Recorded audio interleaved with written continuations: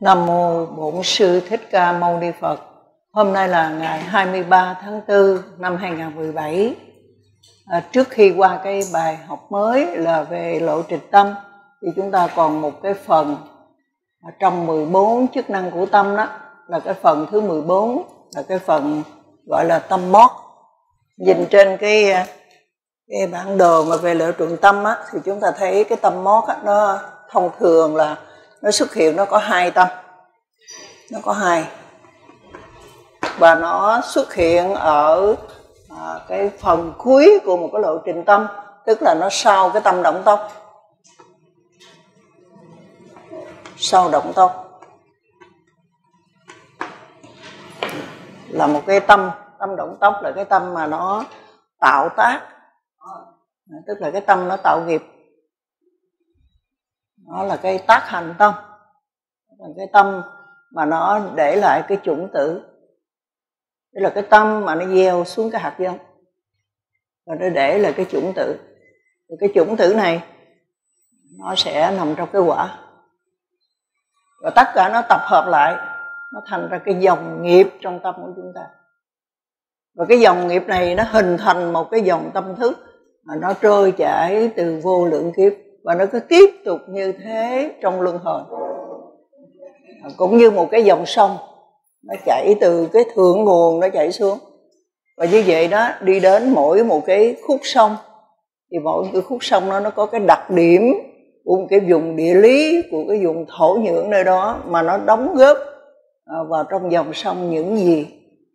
Tức là mỗi một cái kiếp sống của chúng ta, thì chúng ta sẽ đóng góp vào trong cái dòng nghiệp đó dòng nghiệp này nó là hai cái dòng nước, một cái dòng nước trong và dòng nước đục, một cái pháp trắng và một cái pháp đen. Thì trong mỗi kiếp sống, chúng ta đóng góp vào cái dòng nước trắng đó hay là cái dòng nước trong đó hay cái dòng nước đục đó, nhiều ít là trong mỗi kiếp sống của chúng ta. Thì như vậy, dòng sống này nó sẽ tiếp tục trôi chảy trên con đường luân hồi của nó khi nào trong mỗi kiếp sống chúng ta ý thức ra được điều này? Ý thức ra đích thực đây là cái đời sống tâm linh của chúng ta.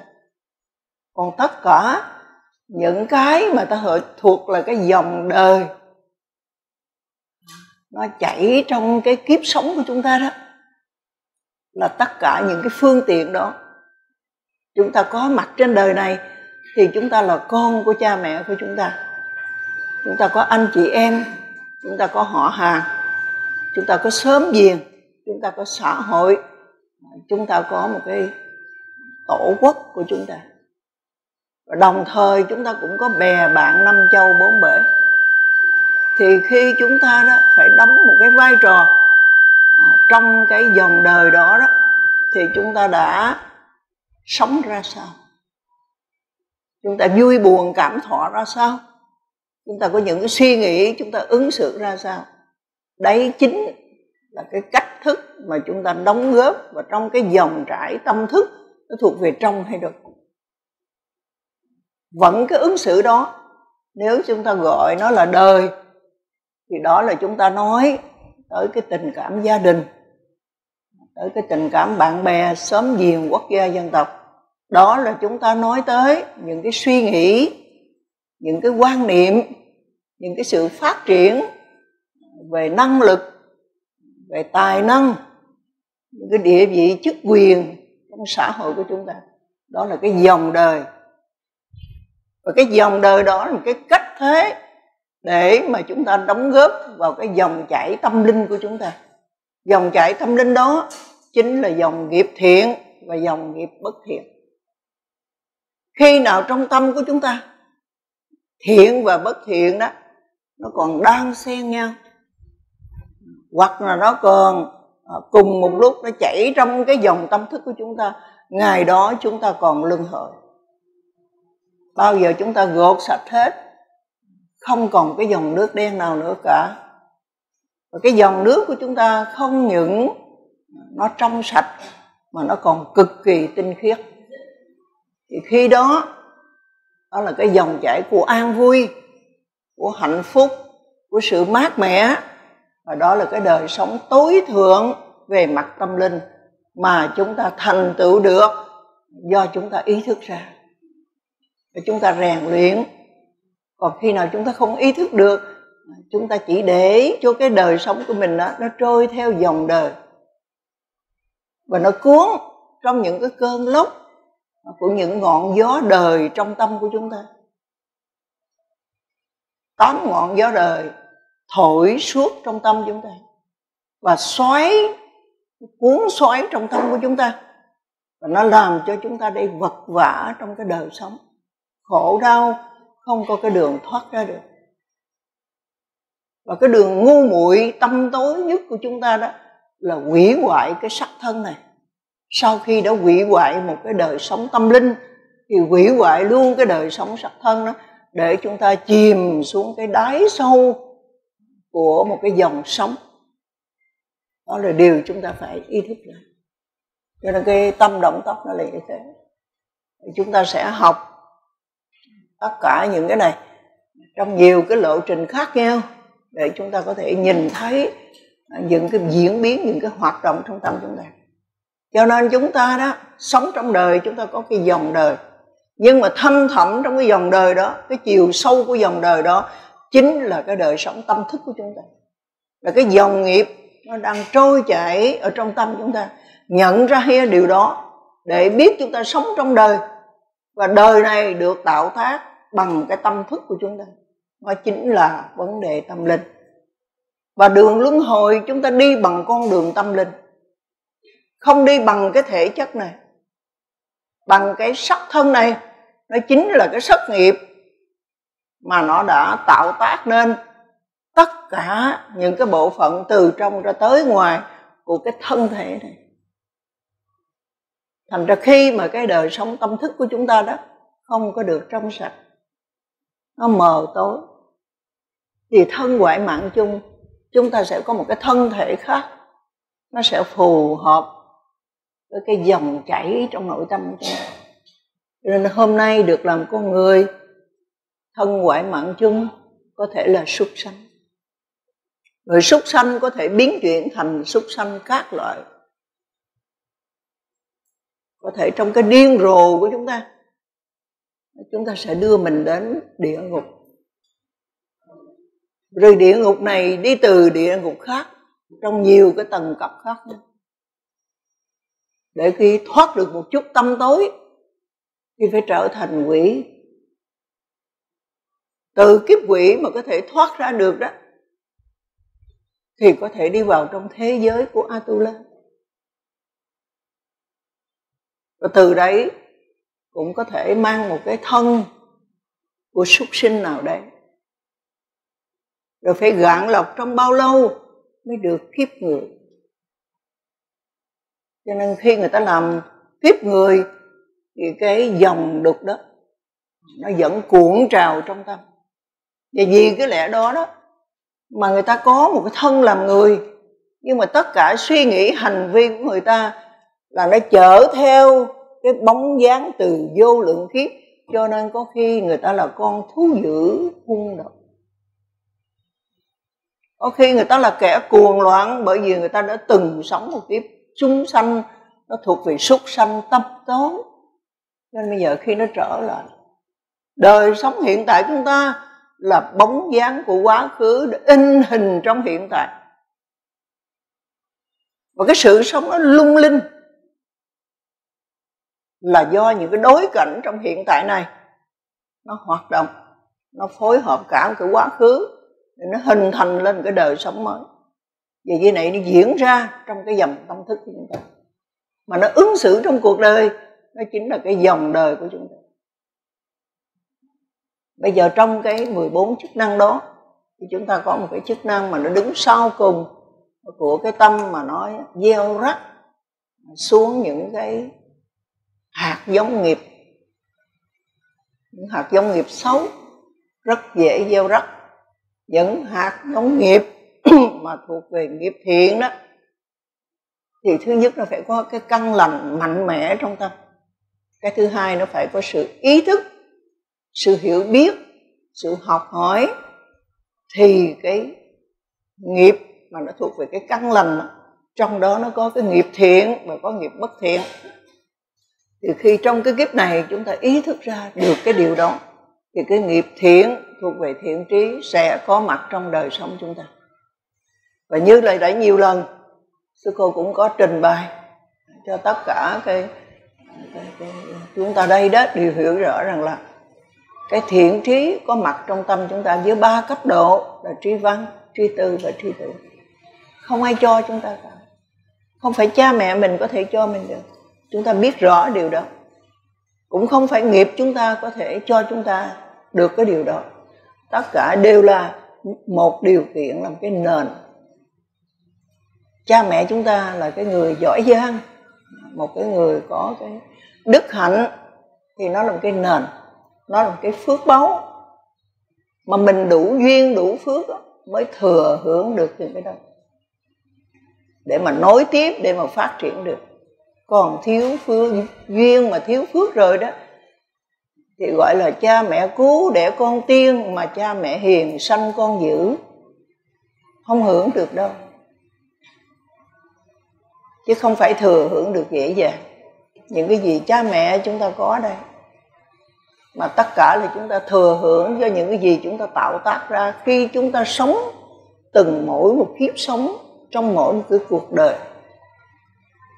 Khi mà chúng ta trong cái đời sống nội tâm của chúng ta đó đã khởi lên những gì và chúng ta đã hợp tác ra sao để chúng ta cho tất cả những gì khởi lên trong tâm của chúng ta được hiển lộ ra bên ngoài là có nghĩa nó đã tạo tác sự sau khi nó đã tạo tác xong rồi, thì nó có còn một cái động tác tiếp theo. Động tác tiếp theo, cái tâm mà kế tiếp đó đó, thì người ta có rất là nhiều là tên gọi. Ví dụ như gọi là na cảnh, gọi là đăng ký, gọi là thập di, gọi là đồng sở duyên. Riêng có một cái từ, gọi là cái tâm mót. Thì sư cô chọn cái từ này, đây là từ của hòa thượng tịnh sự dịch.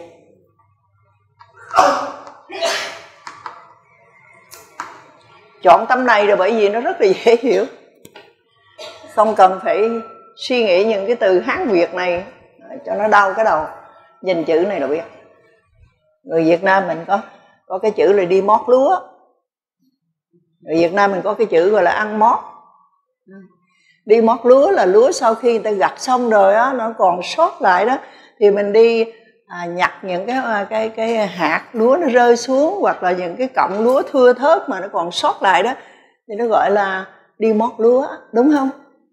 Còn ăn mót á là thí dụ người ta ăn xôi người ta quăng cái gói xôi còn dính chút xíu đó thì lụm lụm lụm cái đó bỏ trong miệng. Người ta ăn chè dùng cái lá chè còn lại thì con chó lại liếm liếm liếm. À, tức là nó ăn mót bị hiểu đi chưa?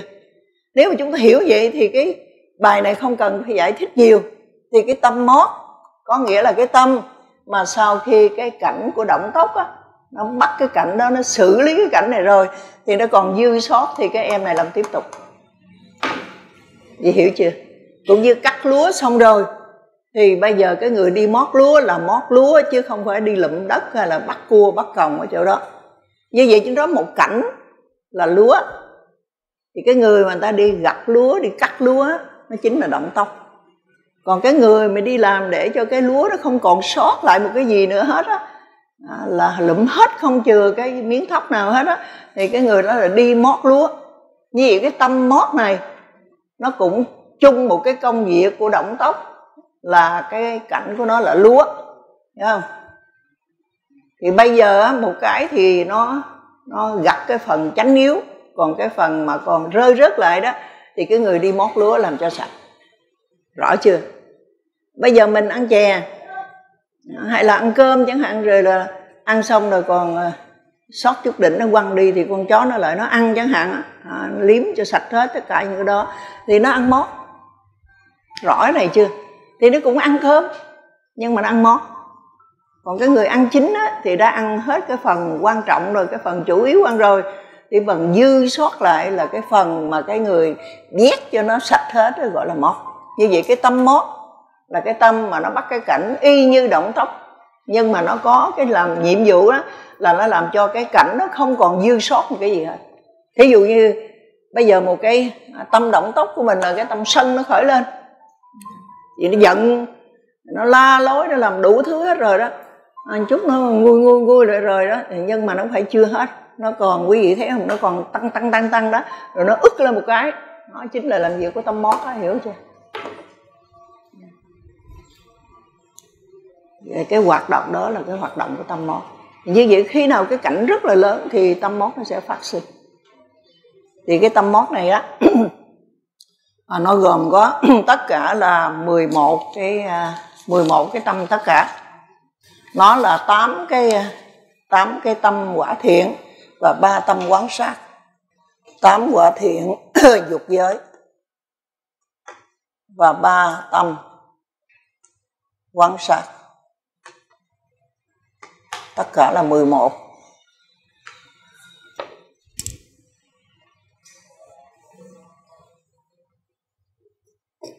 Như vậy nó đây. Tám tâm quả thiện dục giới nằm đây. Và ba tâm quán sát. Tâm tiếp thu tâm quán sát đây ba tâm quán sát nằm ở đây. Hai cái thọ xã và một cái thọ hỷ. Tất cả là 11 11 tâm. Nó có cái nhiệm vụ của nó đó là nó à, làm thêm một cái chức năng nữa à, là nó hợp tác với cái tâm động tốc để nó làm một cái vai trò là nó coi như là nó hưởng thụ hết những cái cảnh còn dư sót. Thì chúng ta đã ôn tập qua các cái phần chức năng của tâm. À, đó là những cái phần ôn lại và có thêm một chút để cho chúng ta đã nhớ cho nó thuần ở trong tâm.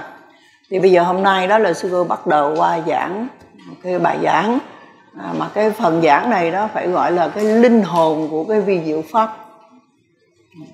Cái linh hồn của vi diệu pháp chính là những cái hoạt động của tâm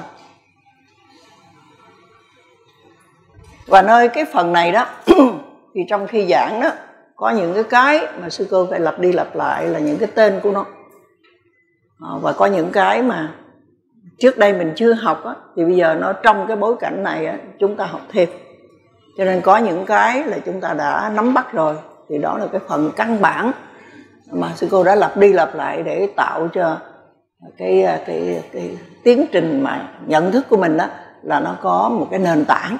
Mà từ cái nền tảng đó mình sẽ tiếp thu lên nữa.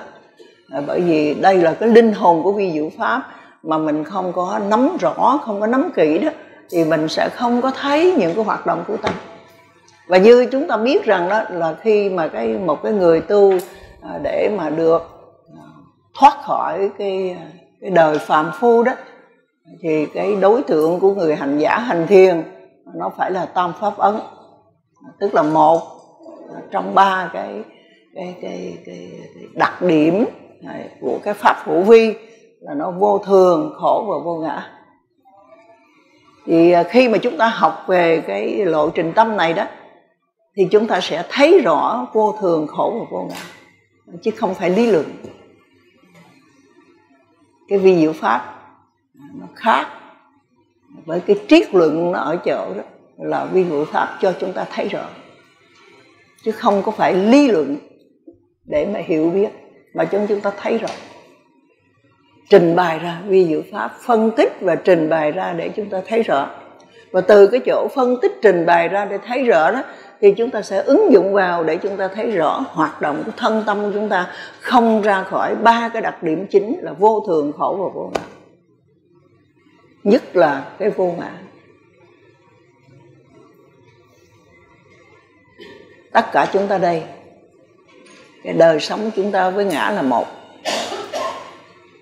Và nó là pháp thế gian. Nó là cái cái dòng đời. Do cái học giáo pháp, chúng ta hiểu rằng cái dòng đời trôi chảy. Và nơi đó, nơi cái thẳm sâu của nó chính là cái dòng sống về tâm linh. Thì cái dòng sống này vô ngã. Đặc biệt là như thế. Đời thì có ngã, mà tâm linh thì vô ngã. Bởi vì đời nó là cái pháp thế gian, nó là cái pháp quy ước. Nó là cái pháp thuộc về hiện tượng, nó xảy ra như thế đó. À, khi trong tâm chúng ta có đầy đủ sự biến hiện như thế nào nó diễn ra như thế. Nhưng mà cái gì cốt lõi điều khiển nó thì chúng ta phải hiểu rằng cái đó chính là cái pháp chân đế đang điều khiển nó thì nó có đầy đủ vô thường khổ và vô ngã. Đời á nó cũng giống như đó. À, là khi chúng ta à, thả một cái con diều thì con diều này nó bay lượn trên không trung nó uốn éo, nó bay lượn trên không trung, nhìn nó rất là đẹp. Nhưng cái gì làm cho con diều bay? Không phải chỉ duy nhất có gió mà thôi, nhưng mà nó có cái sợi dây. Thì theo, và cái sợi dây này á, nó phải có một cái trụ. Cái trụ này có thể là một người hay hai người, ba người đó, người ta cùng nhau người ta thả diều. Con diều nhỏ thì một đứa bé mà thôi, nhưng con diều lớn có thể tập trung tới 16 người cái sợi dây đó không phải người ta có thể cầm nổi, mà người ta điều khiển những cái chùm dây đó. Người ta có những cái cột mốc để người ta an trụ nó gì đó thì lạ lùng thay đó, cái đời sống mà gọi là cái dòng đời của chúng ta nó đa dạng, nó phức tạp như thế này, nhưng nó không ra khỏi ba cái trụ mốc của nó là vô thường, khổ và vô ngã. Và di diệu pháp sẽ trình bày cho chúng ta thấy rõ thế nào là ngã và thế nào là vô ngã. Và đặc biệt là nó hiển lộ trong lộ trình tâm.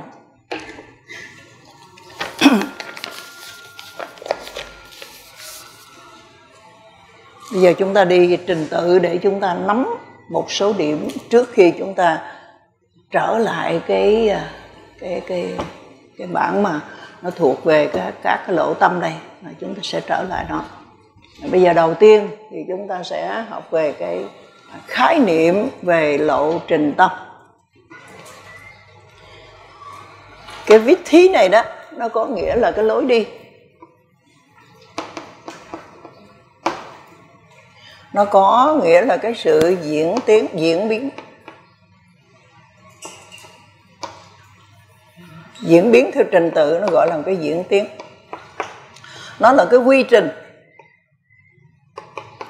nó là cái hệ thống. Hay chúng ta có thể rút lại thành một cái câu. Nó gọi đó là cái quy trình.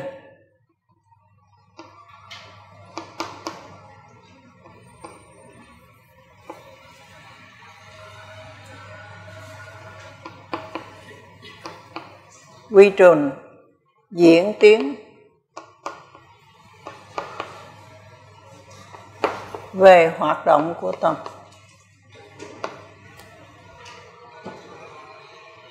như vậy cái chữ chitta thiết,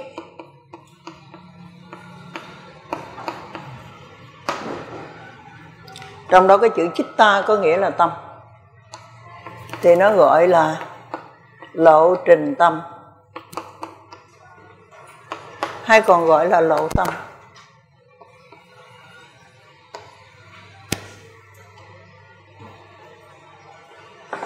Có nghĩa là như vậy.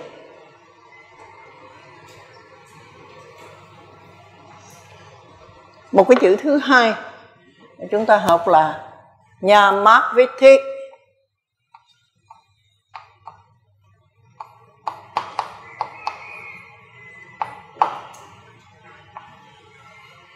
Nhà má có nghĩa là danh. Danh đây đó có nghĩa là tâm và sở hữu tâm.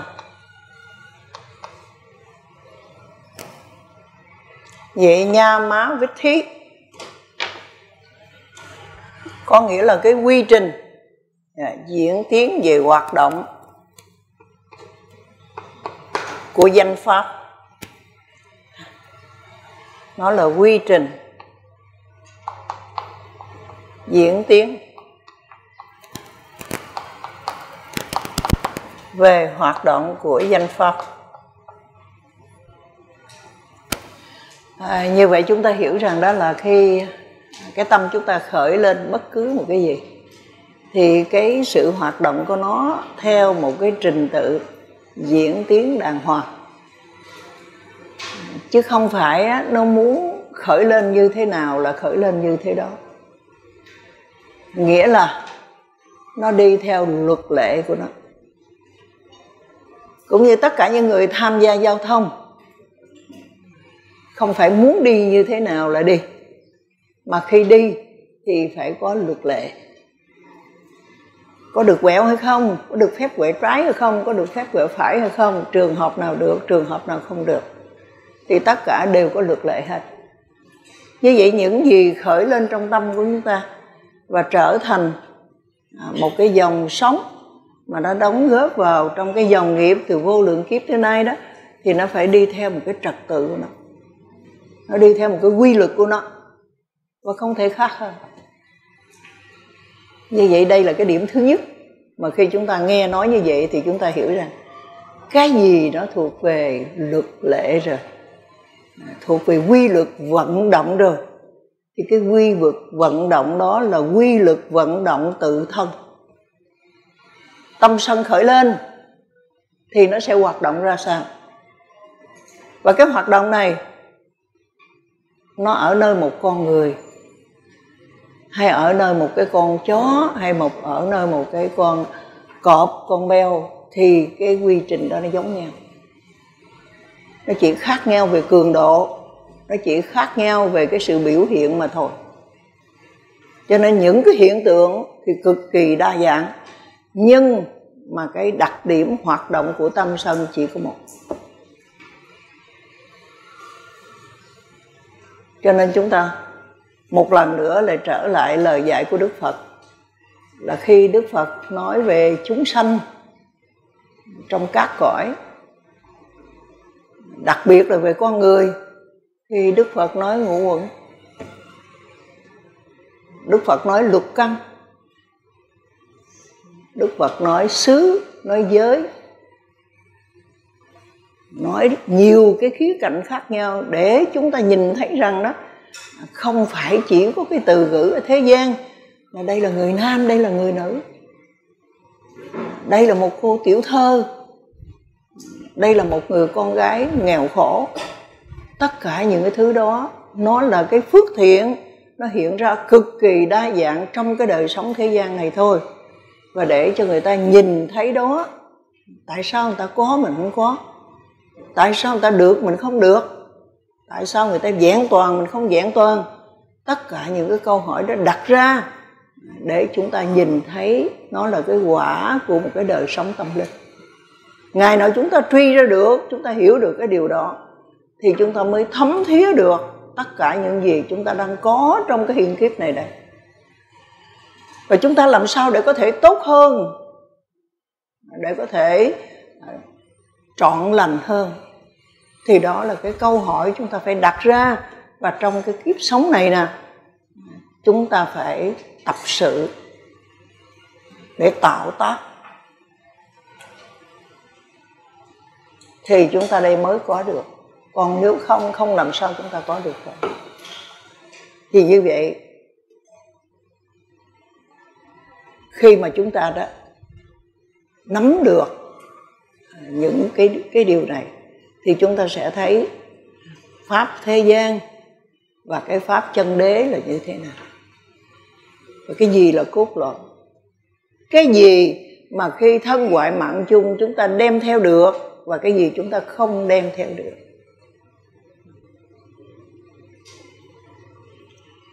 Chúng ta thấy này, điện đây là cái hiện hữu. Nhưng mà cái mà mắt chúng ta không thể thấy được, thì nó lại chi phối cái hiện hữu này. Đó là cái dòng điện. Chúng ta nói một cái dòng điện, nhưng mà chúng ta không thấy nó đâu cả. Chúng ta nói nó nằm ở trong cái dây điện.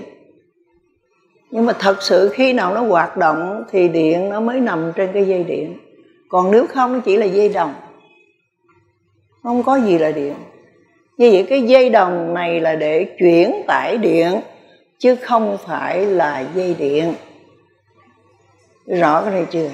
Như vậy cái sắc thân này của chúng ta, nó làm nên cái đời sống, nó mượn đây là là đời sống đó, thì nó chỉ là cái dây để chuyển tải điện.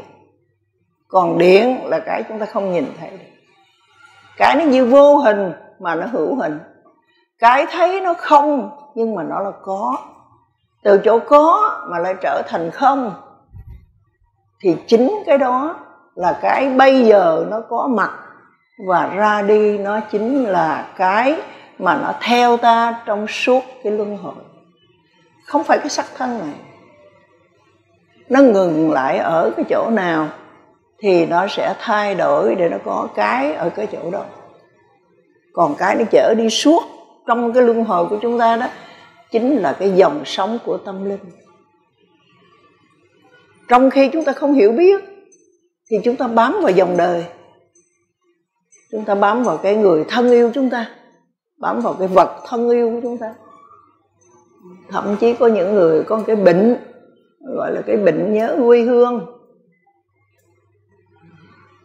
Xa cái chốn cũ của mình đó, thì ăn không ngon, ngủ không yên, nhớ quê hương.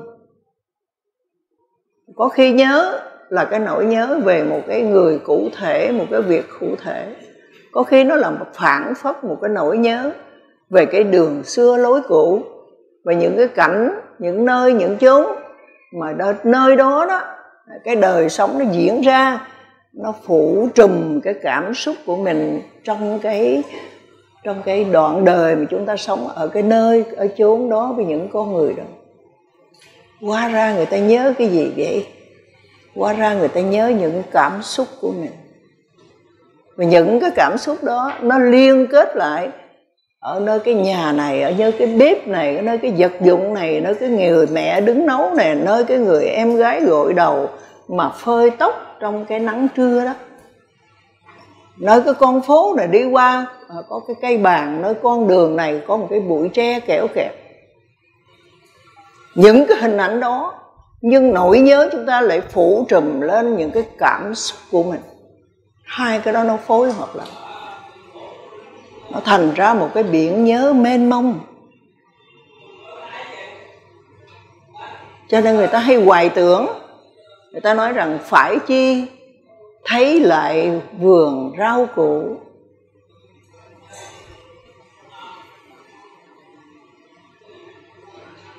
Để mà những cái cảm xúc đó của người ta đó.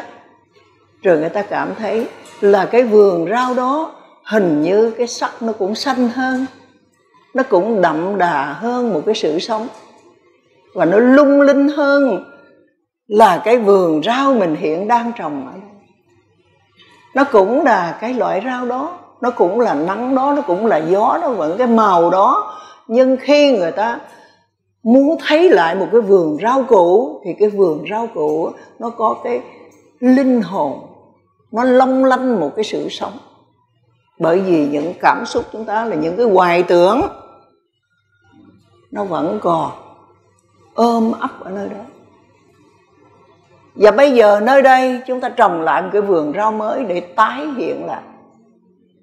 Một cái cảnh cũ và mong là có những cái cảm xúc cũ nhưng không, cảnh có thể tái hiện lại là cảnh cũ, nhưng không hoàn toàn là cảnh cũ.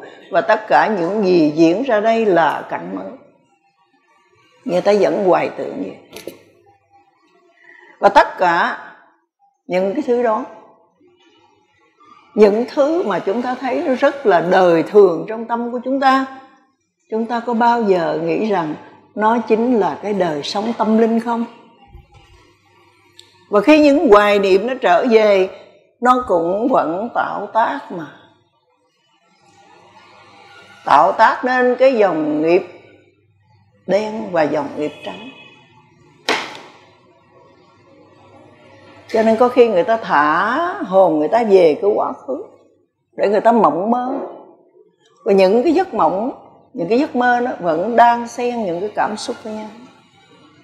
Và lạ lùng thay khi những cái cảm xúc đang xen nhau đó, nó lại là đang xen của một cái dòng nghiệp mới, dòng nghiệp thiện và bất thiện lại tiếp tục chảy trong cái nội tâm chúng ta. Và chúng ta đây, trên một cái đoạn sông này, trên kiếp sống này đây, chúng ta lại làm dồi dào cho hai cái dòng nước đen và dòng nước trắng này. Phải biết rõ, phải ý thức rõ, để chúng ta mới có thể kiểm soát được và chúng ta đây đó, có thể chuyển đổi được. Còn nếu không, tự nó nó sẽ khởi lên và tự nó nó sẽ hoạt động. Và khi nào chúng ta không ý thức được điều này, chúng ta không thấy được điều này, thì chúng ta thấy tất cả những gì khởi lên đây, nó chính là ta. Nó chính là của ta. Nó là thuộc về ta và nó hiển lộ cái ta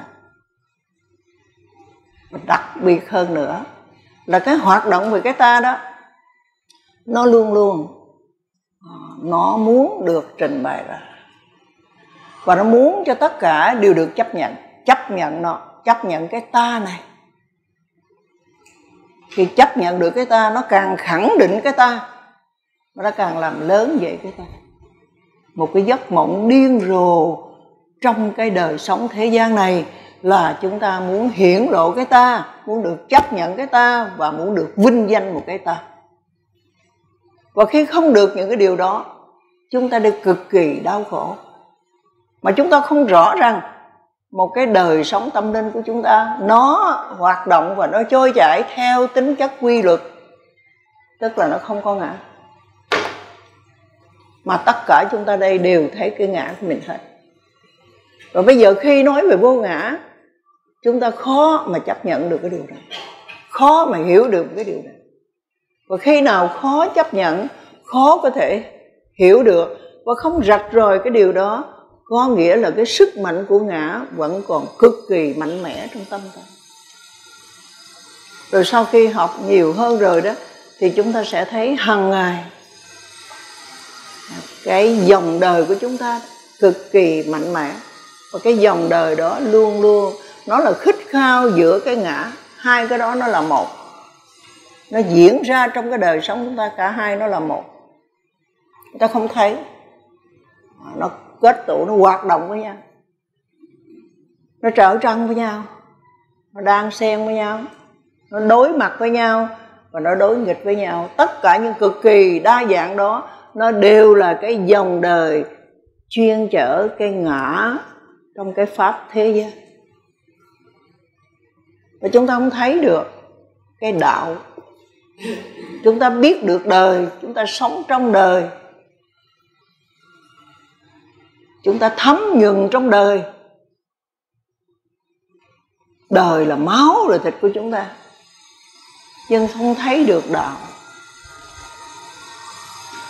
Cho nên không biết mình làm cái này là đời hay làm cái này là đạo chúng ta nói á, tốt đạo, đẹp đời.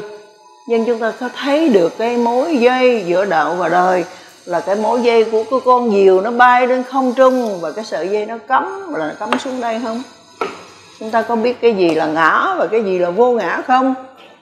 Nếu chúng ta tách biệt được trong cái sự hiểu biết của mình và ứng dụng cái sự hiểu biết này để thấy rất rõ ràng như vậy, thì chúng ta sẽ hiểu được. Và từ cái chỗ đó những cái đau khổ của chúng ta nó giống như từ bấy lâu nay đó à, là nó à, dán chặt vào như thế này, này bằng một thứ keo mà không có cạy gỡ ra được đó thì bây giờ tự nhiên là nó sẽ à, nới lỏng ra từ từ nó bong ra rồi nó sẽ tự động nó rớt xuống. Còn khi mà chúng ta nói rằng là tôi sẽ buông bỏ tất cả nhưng mà chúng ta không thấy rõ không biết rõ thì chúng ta nói, nhưng mà cái việc của nó là cái việc nó vẫn cứ áp vào.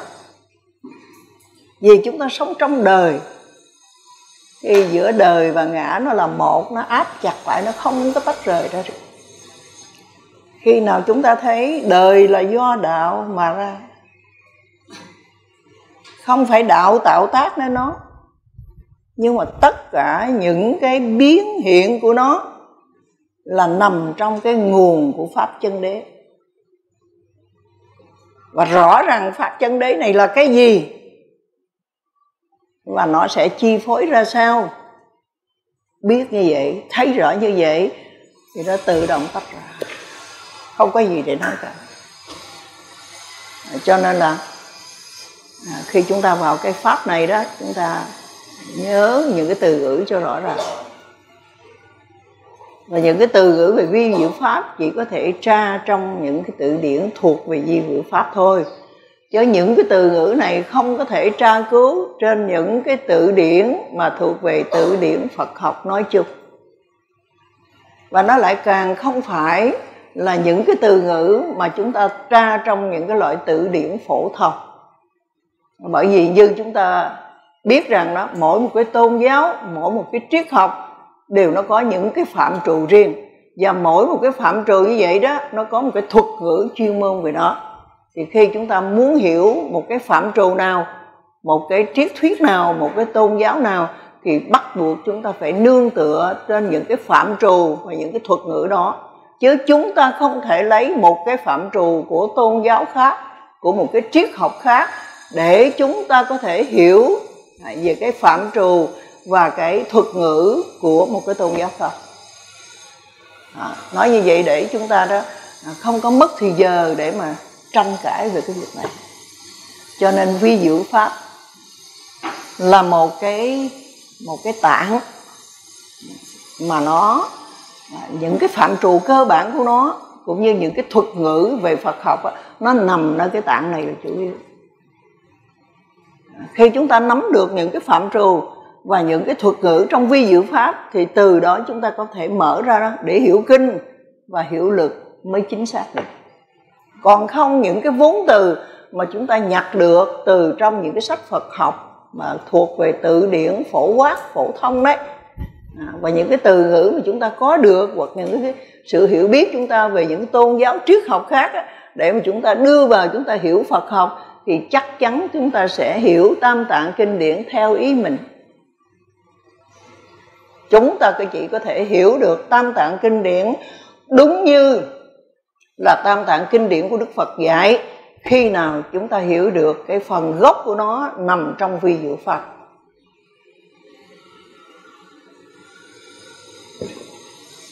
Cho nên nhiều người nói, mà tu không cần học quy pháp, được chứ sao không được?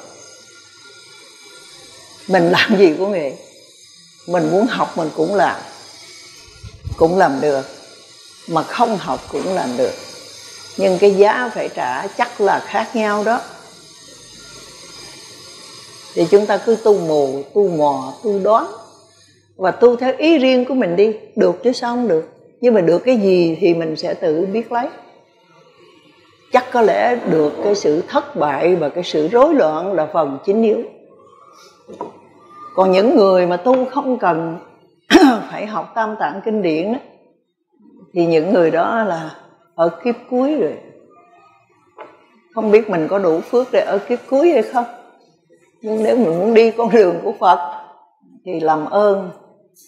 Chúng ta làm đúng như những gì mà chúng ta đã thọ. Chúng ta quy y phật rồi quy y pháp. Thì chúng ta quy phật là chúng ta nương tựa vào trí tuệ tâm linh chúng ta quy y pháp là chúng ta nương tựa vào tam tạng đến kinh điển của đức phật. Mà tam tạng kinh điển này chỉ rõ cái con đường để phát sanh trí tuệ. Nếu chúng ta làm đúng như vậy, thì chúng ta đi theo chánh pháp. Còn không làm đúng như vậy, thì chúng ta đi theo sự hiểu biết riêng của mình. Cho đến bao giờ sự hiểu biết riêng của mình đó, tiếp cận được chân lý thì chừng đó chúng ta đi vào chánh pháp. Còn khi nào cái sự hiểu biết riêng của mình chưa tiếp cận được chân lý, thì chính bản thân chúng ta dẫn chúng ta đi vòng vòng. Nay chúng ta theo cái này, mai theo cái nọ. Mốt thấy cái này giỏi hơn, cái kia dở hơn, thì chúng ta lại thay đổi và chúng ta chạy một cách quay cuồng như vậy. Là bởi vì chúng ta chưa tiếp cận chân lý và chánh pháp chưa có mặt nơi ta. Chúng ta đang mơ tưởng về chánh pháp. Và chúng ta đang đi tìm chánh pháp, nhưng chúng ta không định hướng được con đường đó và cái cách thế đó. Thì người nào đi tìm, xin chỉ vi diệu pháp là pháp gốc. Từ pháp gốc này hiểu được tạng kinh, từ pháp gốc này hiểu được tạng lực. Và khi hiểu chính xác như vậy, thì chúng ta đang hiểu biết về chánh pháp và chúng ta sẽ hành trì trong chánh pháp, tức là cái đời sống chúng ta. Chúng ta nằm trong đạo để sống trong đời. Cho nên dòng đời vẫn chạy mà nơi ta đạo tâm đã vững chắc.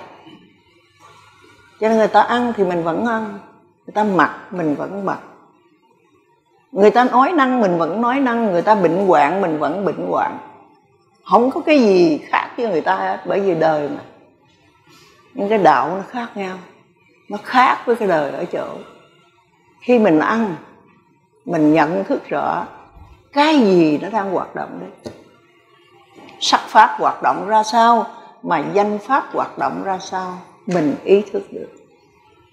Mình nói đây, mình cũng nói cái ngôn ngữ của đời thường vẫn ứng xử thế gian, nhưng mình biết cái tâm gì nó đang nói đây.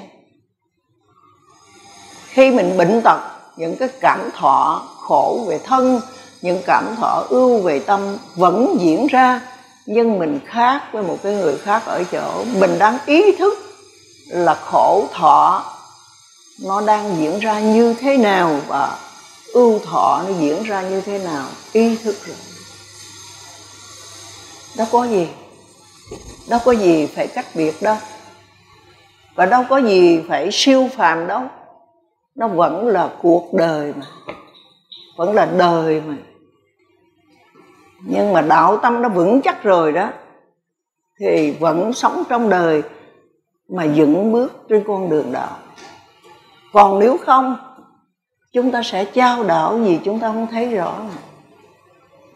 Và chúng ta cũng không có thể làm cho cái ý thức của chúng ta đó, nó càng lúc nó càng sắc bén, nó rõ ràng hơn.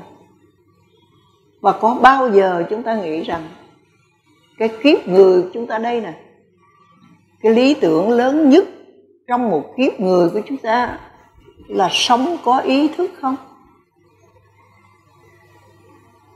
Nếu chúng ta không nghĩ được cái điều này, thì chúng ta sẽ nghĩ rằng chúng ta có mặt trên đời này để mà đếm trải, để mà thọ hưởng tất cả những gì chúng sanh có được. Ta đây phải không? đắng cay là chuyện không thể tránh khỏi, nhưng đi kiếm cái mùi hỷ lạc thì ta đây có thể đi kiếm được như vậy, tối ưu, tối thượng trong cái kiếp người ở thế gian là đi tìm con đường hỷ lạc. Hỷ lạc về cái ăn, về cái mặc, về cái ngã, về cái công danh, về cái sự nghiệp, về tài sản, vân vân, tất cả đều phải tối ưu, phải tối thượng. Nhưng nó chỉ là quả của phước thiện mà thôi. Có phước thì nó hiển lộ ra không có phước thì nó ở đâu á, có đâu mà nó hiện ra được. Còn dùng những cái pháp bất thiện để mà đọt cho bằng được cái đó, thì cái người học trò này sẽ bị điểm âm. Và ta sẽ bị đuổi ra khỏi kiếp người. Cho nên chúng ta có mặt trên đời này hãy là một người học trò. Từng mỗi một cái sự việc xảy ra, chúng ta học từ đó một bài học về tâm linh, một bài học về thế gian để hiểu rõ một cái chân lý về tâm linh. Thì chúng ta đây được ở trong cái lớp mà đào tạo con người, được cái lớp để mà đào tạo chư thiên rồi sẽ lên tới đỉnh cao của những cái lớp đó. Là chúng ta đi vào trong dòng thánh.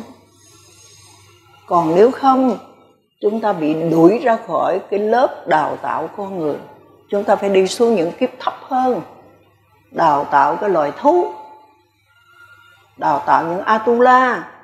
Đào tạo những cái quỷ ma. Đào tạo của địa ngục. Và cho đến khi nào chúng ta ý thức rõ được điều này thì chúng ta rời khỏi những cái lớp học đó. Chúng ta trở lại kiếp làm người của chúng ta. Còn không ý thức, chúng ta sẽ mất. Cho nên khi nói đến cái lộ trình tâm, hay là lộ trình của danh pháp, tức là hoạt động của tâm và sở hữu tâm, hoạt động của ngũ căn ngũ môn ngũ vật. Hay nói đúng ra, nó là cái hoạt động của ngũ song thức. Thì chúng ta hiểu được cái lộ ngũ và sau đó thì chúng ta phải hiểu rằng cái lộ ngũ này nó trạo lại trong tâm. Và đồng thời những cái cảnh trong tâm nó phát sinh lên nữa thì nó hình thành nên một cái lộ ý. Và đó là tất cả những cái hoạt động nó diễn ra trong nội tâm của chúng ta, nó hình thành một cái đời sống. Và những cái bóng sắc của nó sẽ hiện ra thành những cái màu, những cái cảnh trên thế gian này. Chúng ta nói đây là cha mẹ mình, đây là anh em mình, đây là chồng vợ, đây là con cái này. Chuyện đó là cái tên gọi. Còn cái cách chúng ta ứng xử với cha mẹ.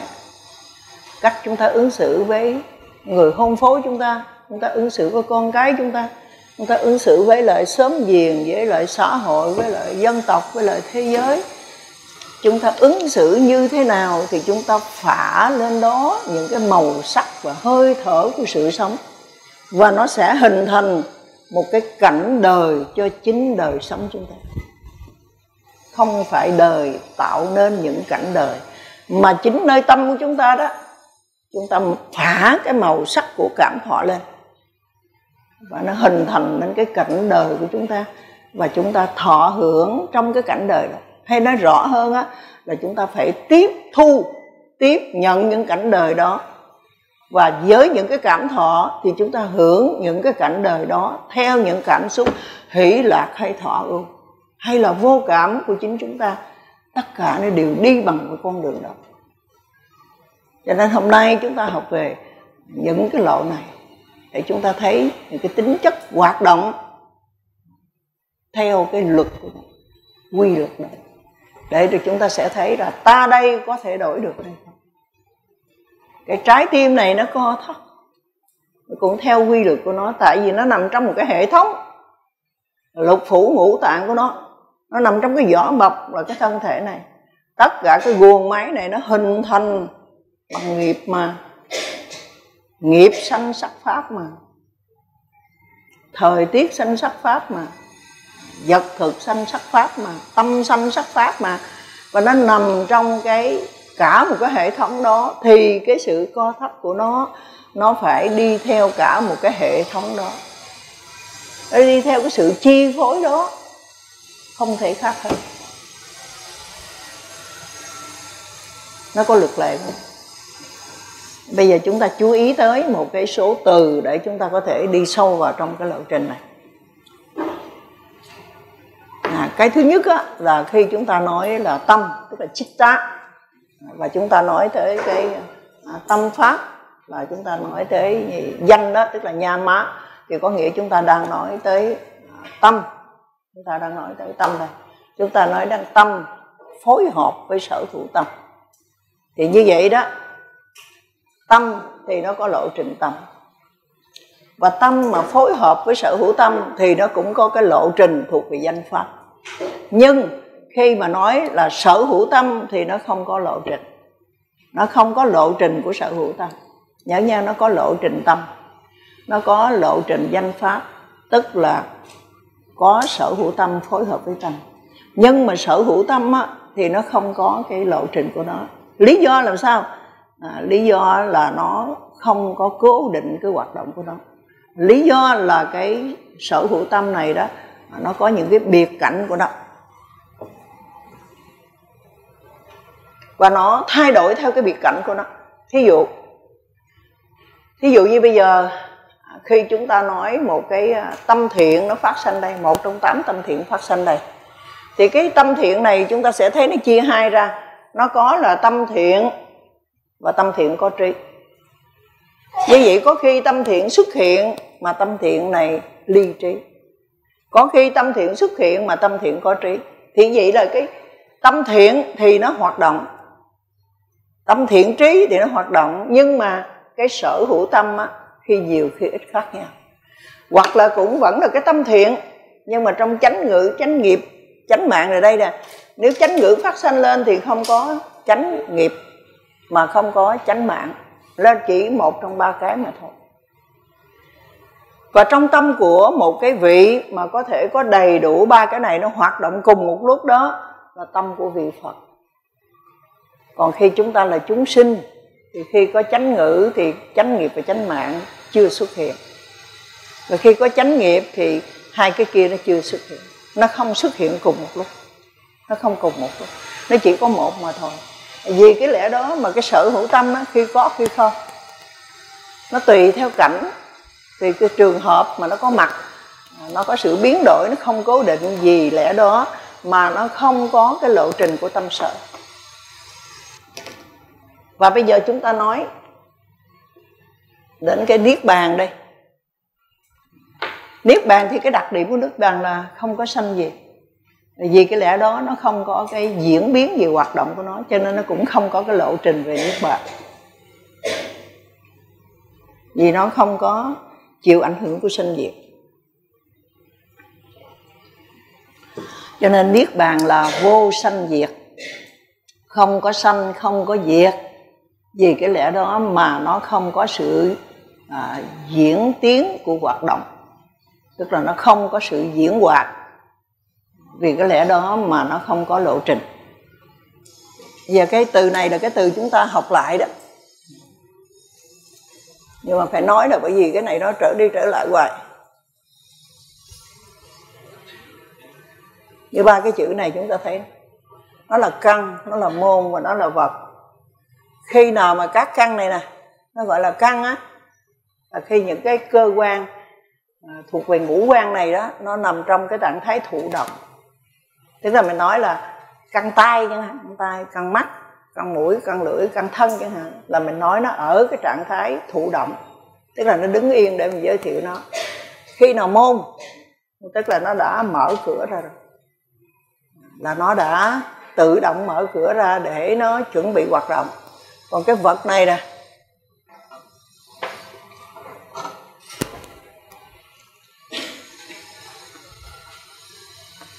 cái từ Bali nó có nghĩa là vắt thuốc. Vắt thuốc. Thì cái cái vật này có nghĩa là cái khi nào đó một cái tâm mà nó khởi lên, nó tạo điều kiện cho cái tâm nó khởi lên nơi nào, thì nó nơi đó là vật. Và cái nơi nào mà cái tâm nó khởi lên rồi đó, mà nó lại hoạt động hoạt động cái nơi đó. Thì nơi đó gọi là vật và như vậy đó là khi nào nó khởi lên là nó hoạt động rồi, thì nó diệt. Nó diệt cũng tại nơi đó.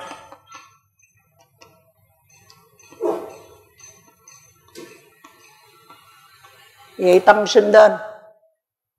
Rồi cái tâm nó hoạt động, rồi cái tâm nó diệt nơi đó. Ba cái này thì nó gọi là cái vách thú như vậy cái vách thú này nó còn nghĩa là trú căn. Tức là nơi cái dòng tâm thức sinh lên, dòng tâm thức hoạt động và chấm dứt cái dòng tâm thức đó. Nó gọi là trú căn.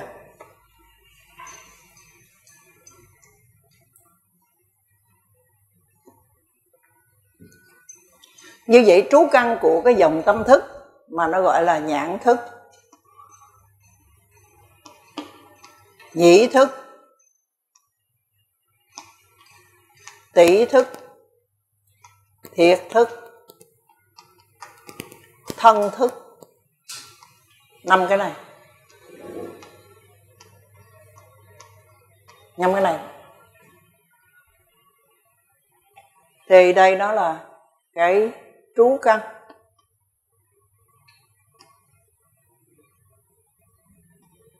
Của các cái thức này tức là trú căn của cái lộ ngũ.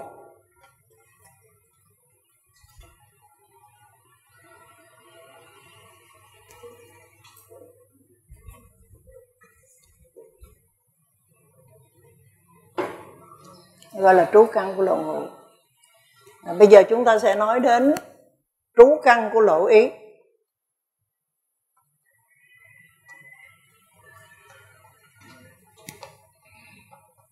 Có nghĩa là sắc ý vật.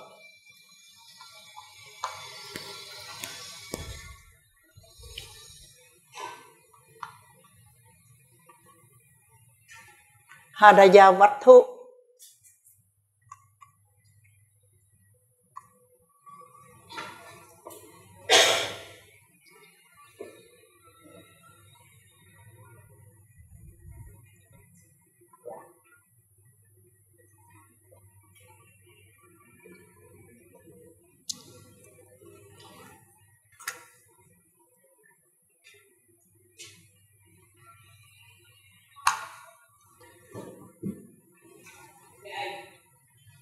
như vậy chúng ta sẽ thấy thế này. Cái sắc ý vật mà nó gọi là cái trú căn này đó, thật sự ra mà nói cho rõ ràng đó, nó là cái sắc thần kinh của ngũ căn.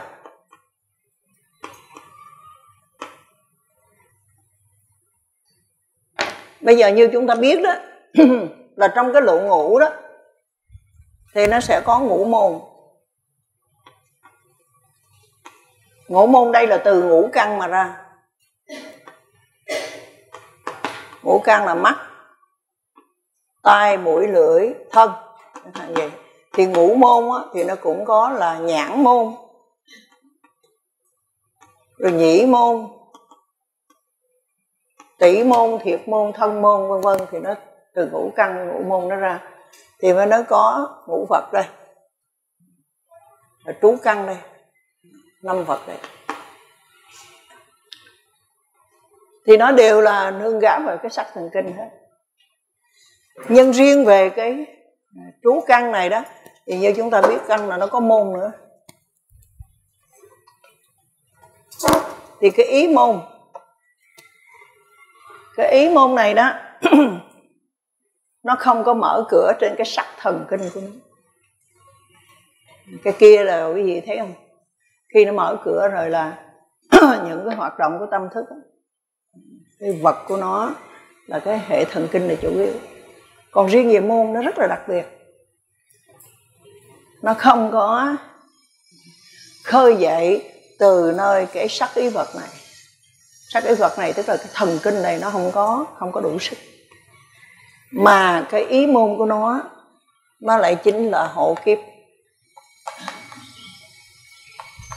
Nó là tâm. Nó thuộc về danh pháp.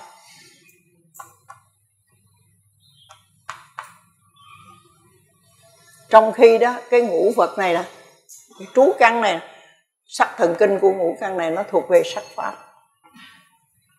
Đó là cái điều khác nha, chúng ta phải nhớ rõ thế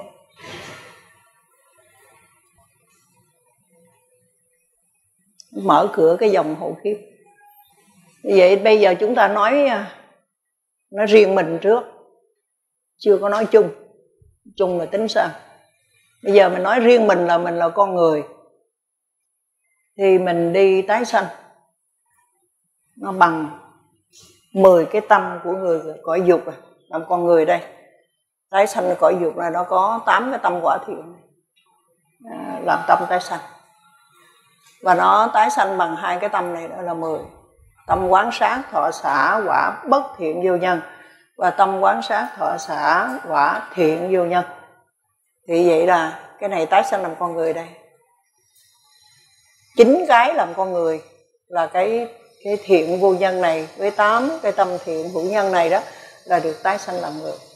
Còn cái tâm bất thiện quan sát này đó là đưa xuống bốn cảnh khổ vậy chính cái mà làm con người đây. Thì tất cả những cái này 10 cái tâm này, khi mà nó hoạt động đó, thì nó mở ra cái trong cái hậu kiếp này, tức là 10 cái tâm cực sinh này chính là 10 cái hậu kiếp. 10 tục sanh ở dục giới mở ra trong cái hậu kiếp. Và cái hậu kiếp này đó, chính là tâm quả.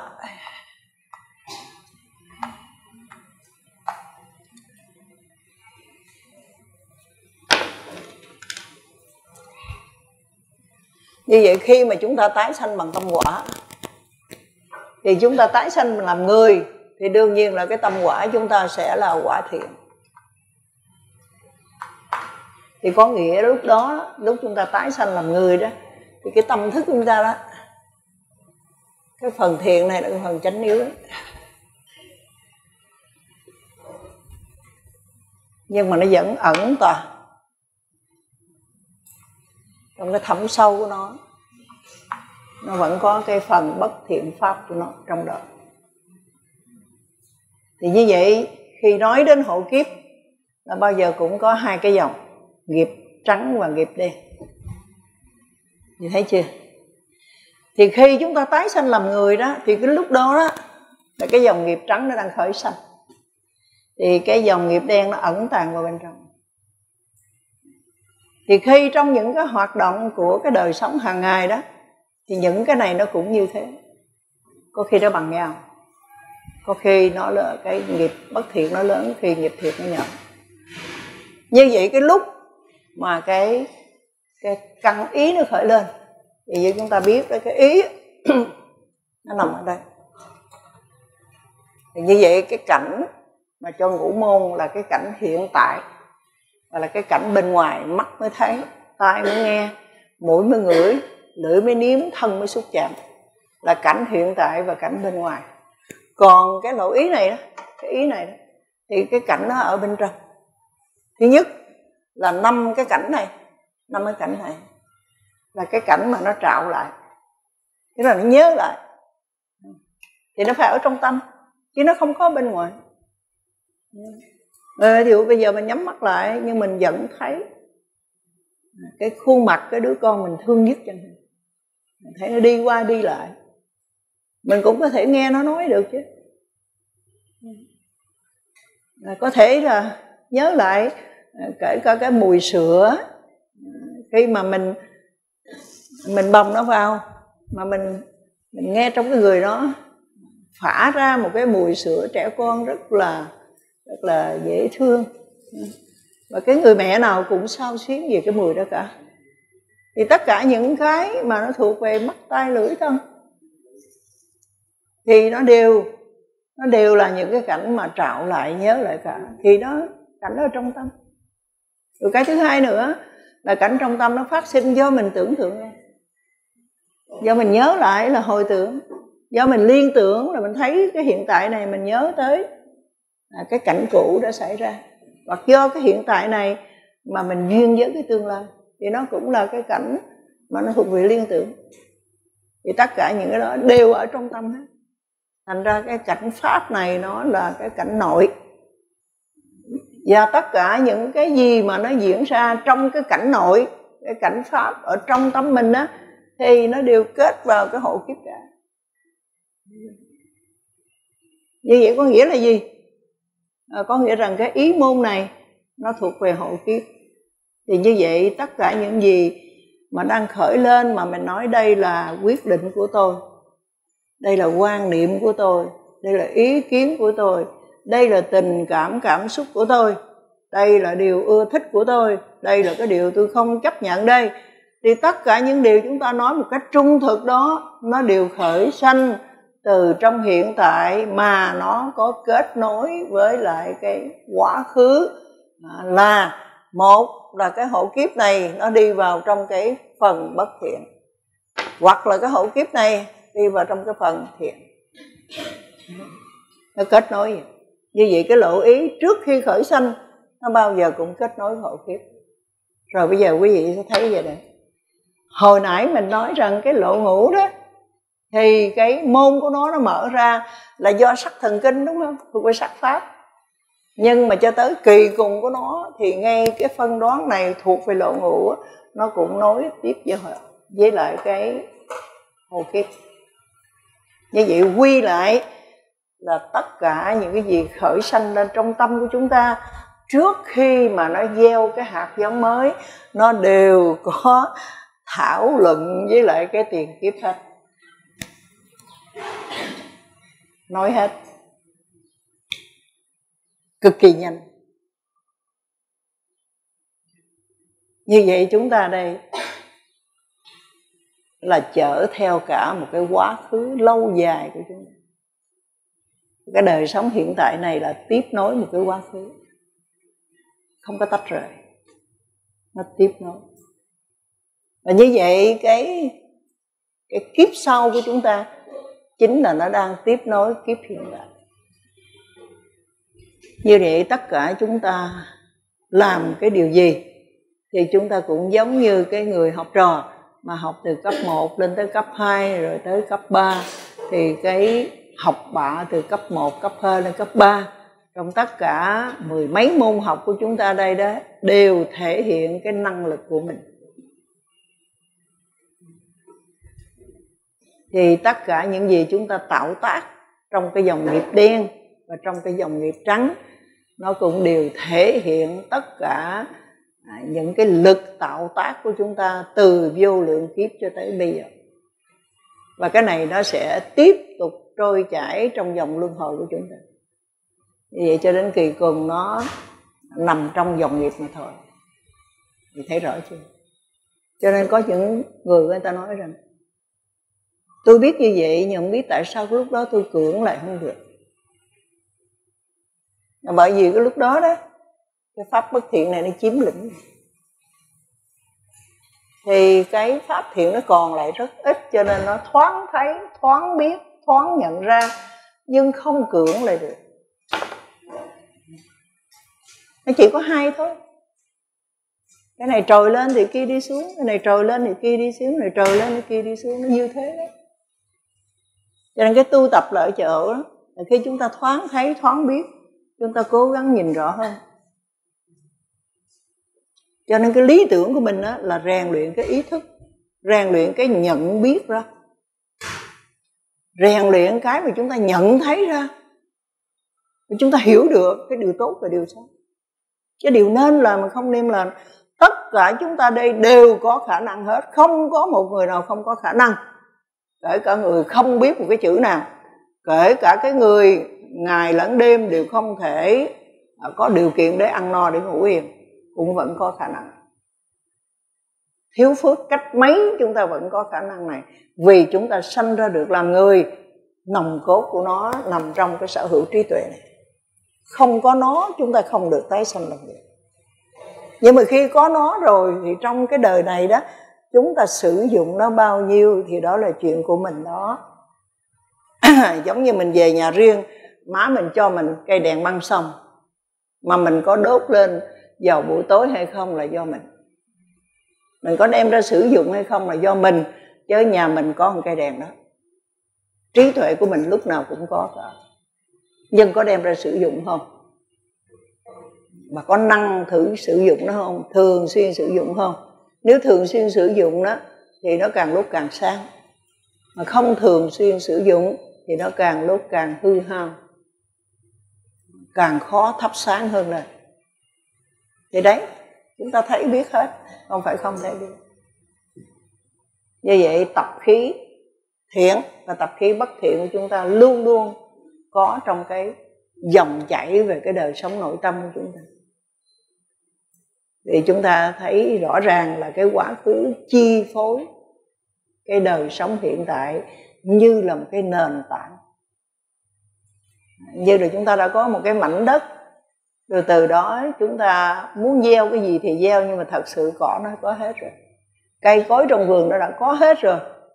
Cây tốt cũng có, cây xấu cũng có, cây ăn được cũng có, mà cây ăn vô để chết, để đắng cay cũng có có hết. Bây giờ trồng thêm cái gì thì cứ trồng đi nếu chúng ta muốn gia tăng những cây không ăn được, những cái cây ăn có thể chết thì cứ gia tăng. Mà nếu muốn gia tăng những cây lành trái ngọt thì chúng ta có thể gia tăng. Và nó sẽ lấn sân nó sẽ lấn từ từ. Cũng như cái người mà ở nông thôn đó, người ta trồng những cái loại cây cực mạnh để lấn cỏ. Ví dụ như trồng rau lan chẳng hạn, trồng rau lan ở cái vùng đất nào thì cái chỗ đó cỏ lên không nổi một cái loại ví dụ như là ngò gai thuốc cứu chẳng hạn nó rải tới đâu á, thì nó lên là nó lấn thì cỏ lên không được. Thì trong tâm chúng ta vậy những cái pháp thiện chúng ta rải nhiều lắm. Nhỏ cũng rải lớn cũng rải vừa vừa cũng rải khi nào rải được thì cứ rải thì nó sẽ lấn sân. Còn nếu không thì cỏ dại và gai mắc cỡ thì chúng ta cứ rải hoài. Thì như vậy thì những cái đau khổ phát sinh. Như vậy chúng ta sẽ thấy rõ ngay cái chữ vật mà chúng ta học đây đó thì chúng ta đó có cái vật mà nó thuộc về cái trú căn. Trú căn này nó nằm trong cái sắc thần kinh của ngũ căn. Nó thuộc về sắc pháp. Một cái trú căn thứ hai là nó thuộc về ý môn. Thì nó không nằm trong giác pháp mà nó là nằm trong danh pháp. Nó thuộc về tâm hộ kiếp. Nếu mà đến kỳ cùng của một cái lộ ngũ đó thì cái tâm phân đoán nó à, chính là nó cũng nối kết trong cái dòng hộ kiếp này như vậy, chúng ta đi đến kết luận là tất cả những cái hoạt động của tâm thức đều gắn bó với lại cái hộ kiếp này cả. Như vậy nó nối trong cái dòng nghiệp thiện, hay nó vô nối trong cái dòng nghiệp bất thiện, thì điều đó đều có khả năng xảy ra. Hết nếu chúng ta có ý thức, thì nó sẽ tắt cái mạch xấu. Mà nếu chúng ta không có ý thức, thì cái dòng mạch xấu đương nhiên nó nói cũng như buổi tối chúng ta nhớ bật cái đèn lên thì nhà chúng ta sáng. Mà chúng ta quên bật cái đèn lên thì đương nhiên nó tối. Cho nên có chánh niệm thì có sự sáng suốt. Có ý thức ra tất cả những hoạt động của thân tâm thì có sự sáng suốt. Còn nếu không có chánh niệm, không có ý thức về hoạt động của thân tâm thì căn nhà chúng ta chìm trong bóng tối và tất cả những cái lỗi lầm, những cái sai trái, kể cả những tội ác mà chúng ta tạo ra đều nằm trong bóng tối của tâm thức. Luật của nó là như vậy. Chúng ta nuôi dưỡng mình bằng cái gì? Bằng sự sáng suốt hay bằng bằng cái sự tâm tối thì cái đó chúng ta đã thấy rõ và chúng ta chọn lựa. Sự tu tập rõ ràng như vậy, chứ không có mơ hồ khi người ta không biết đó thì cái sự tu tập người ta đó, người ta tựa vào trong cái tha lực lực ở bên ngoài không phải từ bên trong. Như vậy khi mình làm bất cứ một cái điều gì, mà cái suy nghĩ của mình đó là phải nương nhờ vào cái người khác.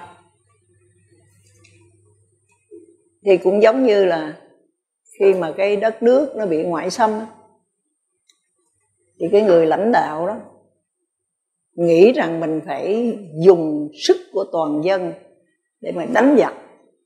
Hay là cái người này nghĩ rằng là dùng cái quân đội của thế giới để đi đánh giặc. Hai cái đó khác nhau. Dùng sức toàn dân để đi đánh giặc thì mỗi người dân giữ lấy cái tất đất của mình. Nhà ở của mình cái quê hương xứ sở nhỏ bé của mình, nó hợp lại thành một cái cộng đồng quốc gia. Thì cái đó vững chắc hay chúng ta đem cái lực lượng quốc tế của các nước, mỗi nước đó, vài trăm ngàn quân vào để làm thành một cái lực chống ở bên ngoài. Thì quý vị nên nhớ rằng một trăm ngàn quân của nước này, trăm ngàn quân của nước kia khi nó đến hàng triệu trên xứ sở này nó ăn cái gì và nó ở chỗ nào là trước nhất cái đã. Rồi nó phóng quế nơi đâu cũng là một cái việc tiếp theo nữa. Rồi nó đủ cái thứ sinh hoạt tốt và cũng có mà xấu cũng có, mà phần lớn là xấu chứ không tốt. Bởi vì khi con người ta đối diện với cái chết, đối diện cái chuyện người ta phải cách ly cái người thân của người ta và người ta phải sống một cái cuộc sống bồng bềnh, bấp bênh và đầy những cái sự hiểm nghèo như vậy thì cái tâm của người ta thấp thỏm. Đó là tâm bất thiện phát sanh, không chờ đợi gì cái điều tốt cả. Thì chúng ta phải gánh nhận cái gì chúng ta biết. Tu mình nương theo cái người khác, nhờ cái lực của người khác, không phải nhờ cái lực của bản thân. Trong khi bản thân ta có trí tuệ bản thân của chúng ta có thể phối hợp với điều lành, có thể từ chối điều không lành chúng ta không từ chối. Trong một cái câu chuyện về quỷ đói, có kể câu chuyện thế này. Là một hôm đó có một cái ông thân, ông đi ngoài đường, mặt mày ông rầu rĩ. Rồi ông lẩm bẩm lầm bầm rồi ông rớt nước mắt. Thì cái con quỷ đó nó nhìn nó biết. Nó mới à, hiện hình ra một cái người tử tế nó đón đường ông. Nó mới hỏi là, thưa sư, tại sao sư buồn quá vậy sư? Thì ông sư này cũng chừng lại. Thì cái người tử tế đó mới nói, sao sư buồn quá vậy? Sư nói nghe đi. Thì ông sư cũng khóc.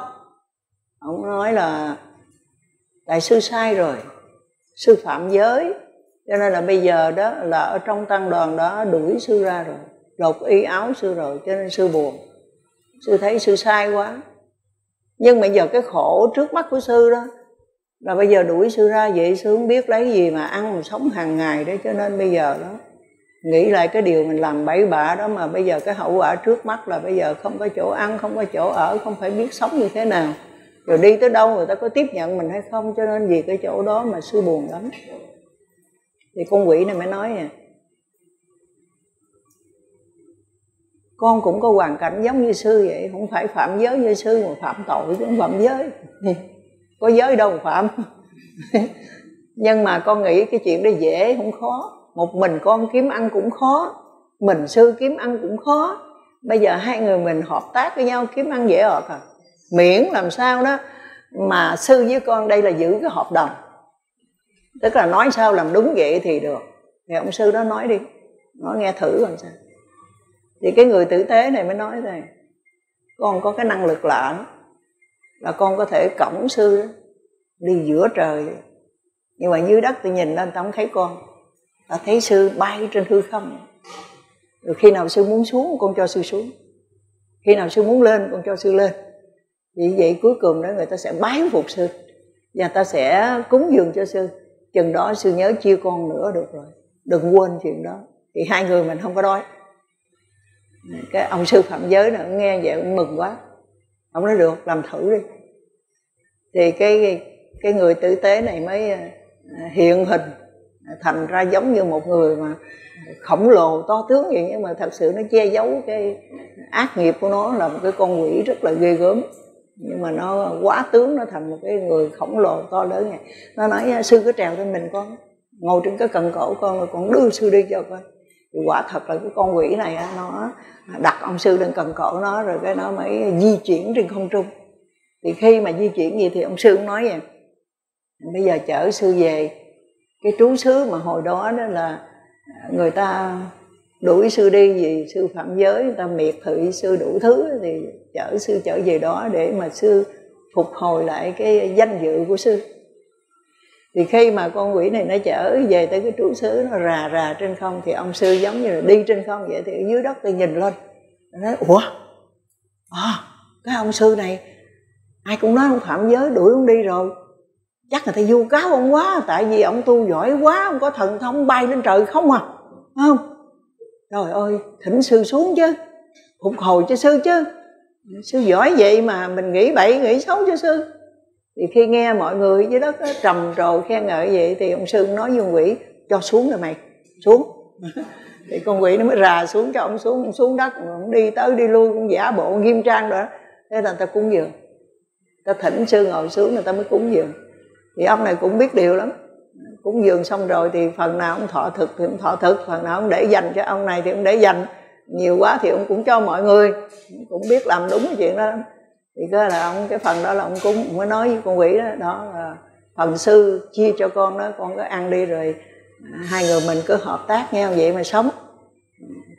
Sư cũng không dám làm bậy nữa đâu. Sư nói nó vậy. Thì à, như vậy là hai người đó là đi khắp nơi và được sự ngưỡng mộ của người ta cúng dường. Thì à, một hôm đó là coi con quỷ như thường lệ đó nó mới chở cái ông sư trên về nó cứ bay đảo tới đảo lui ở dưới người ta mới ngưỡng mộ thì cái chuyện này nó rùm beng lên. À, cho nên cái vị thần mà chuyên môn cai quản cái lũ quỷ này đó thì ông mới đi tuần tra. Ông nói làm sao mà có một cái chuyện mà một cái ông sư mà mình biết rõ ông sư này cũng phạm giới bậy bạ như vậy mà ông lại có thần thông bay lên trời và làm sao mà lại là tạo cái sự ngưỡng mộ người ta vậy? Chắc là phải có chuyện gì đây? Thì ông nghĩ trong bụng không biết ai rồi chỉ có loại quỷ. Nó mới làm được cái chuyện trời ơi này thôi chứ không ai hết đó là ông mới đi kiểm tra. Thấy bay bay lên trời là ông cũng bay lên đi kiểm tra.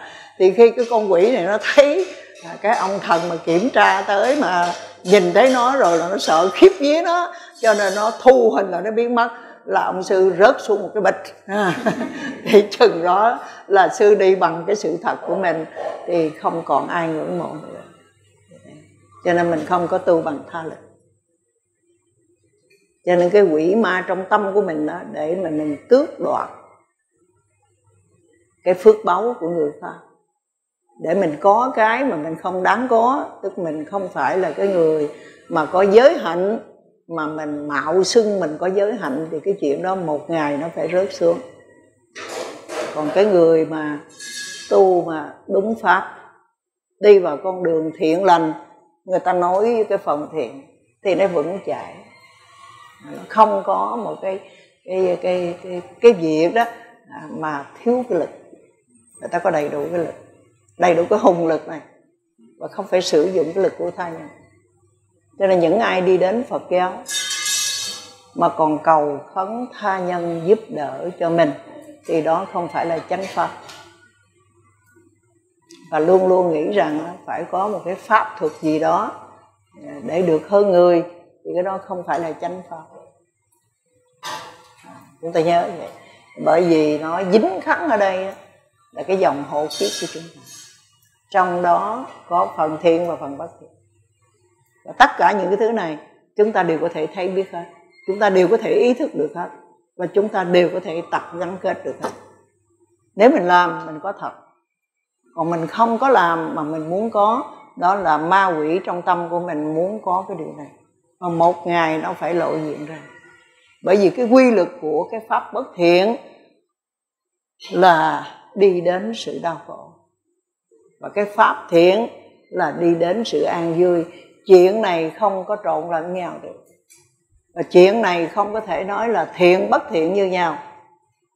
Mà kinh pháp cũ nói rằng đó, pháp thiện và pháp bất thiện cũng giống như đó là mặt trời mọc hướng đông và lặn ở hướng tây pháp thiện và pháp bất thiện khác nhau. Cũng như là bờ bên kia đại dương và bờ bên này đại dương hoàn toàn khác nhau. Vì pháp bất thiện đưa đến sự an vui và pháp thiện đưa đến sự đau khổ. Như vậy không thể nào mà chúng ta dùng mưu ma trước quỷ của mình á à, để mà mình đạt đến những cái phước báu mà người ta phải làm trong vô lượng kiếp người ta mới có được. Nhất thời thì đoạt được cũng giống như cái ông sư phạm giới mà ngồi trên cái cần cổ của cái con quỷ trá hình đó thì nhất thời có được. À, nhưng mà rồi cuối cùng đó nó phải lộ diện ra. Và nó sẽ mất tất cả. Và nó sẽ âm xuống chứ không khi nào nó giữ được cái mực đó. Yeah, bây giờ chúng ta nhắc lại một số cái từ nữa. Thì khi mà nói về cái thức thì chúng ta nhớ là chúng ta có ngủ song thức đây. Chúng ta có ngủ song thức đây. Năm thức thiện năm thức bất thiện và năm thức thiện đây ngủ song thức đây. Thì tất cả những cái thức này à, nó hoạt động ở nơi cái à, lộ ngủ đây. Đây là tất cả đây là lộ ngủ đây. Nó nằm trong cái lộ ngủ đây. Và như vậy nó còn lại tổng cộng á, là cái tâm vương này nó có tất cả là 121 tâm thì ta trừ ra 10 thì tất cả cái tâm còn lại nó là 110 tâm. 110 tâm. Thì nó thuộc về tâm hay còn gọi là tâm thức. Thức thì có 10 đấy. Thức tái sanh là 19 thì đó là cái mà chúng ta nhớ bây giờ chúng ta học hai cái từ ngữ nữa. Đó là tâm chủ và tâm khách khi mà học về tâm chủ và tâm khách á thì chúng ta sẽ nói đến cảnh chủ và cảnh khách.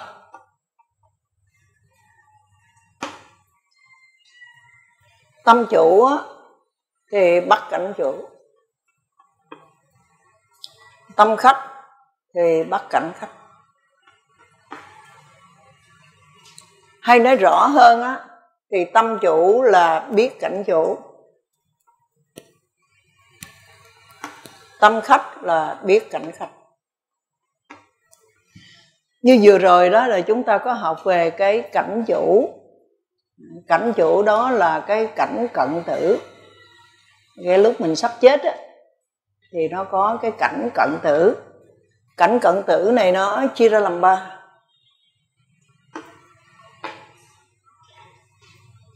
Thứ nhất, nó là cảnh nghiệp cái thứ hai, nó là cảnh nghiệp tướng. Và cái thứ ba là cảnh thú tướng. Cảnh thú tướng là cảnh tái sanh. Cảnh cái người sắp tái sanh vào đó đó. Thì gọi là cảnh cả thú tướng. Thú là sanh thú. Cái cảnh tái sanh. Thì lần trước có giảng về cảnh nghiệp rồi. À, cảnh nghiệp tướng rồi và cảnh phú tướng rồi. Cảnh nghiệp là cái lúc mình sắp chết ấy. thì mình nhớ lại những cái gì mình đã tạo ta mà nổi bật nhất là sư cô cũng có đưa cái thí dụ đó.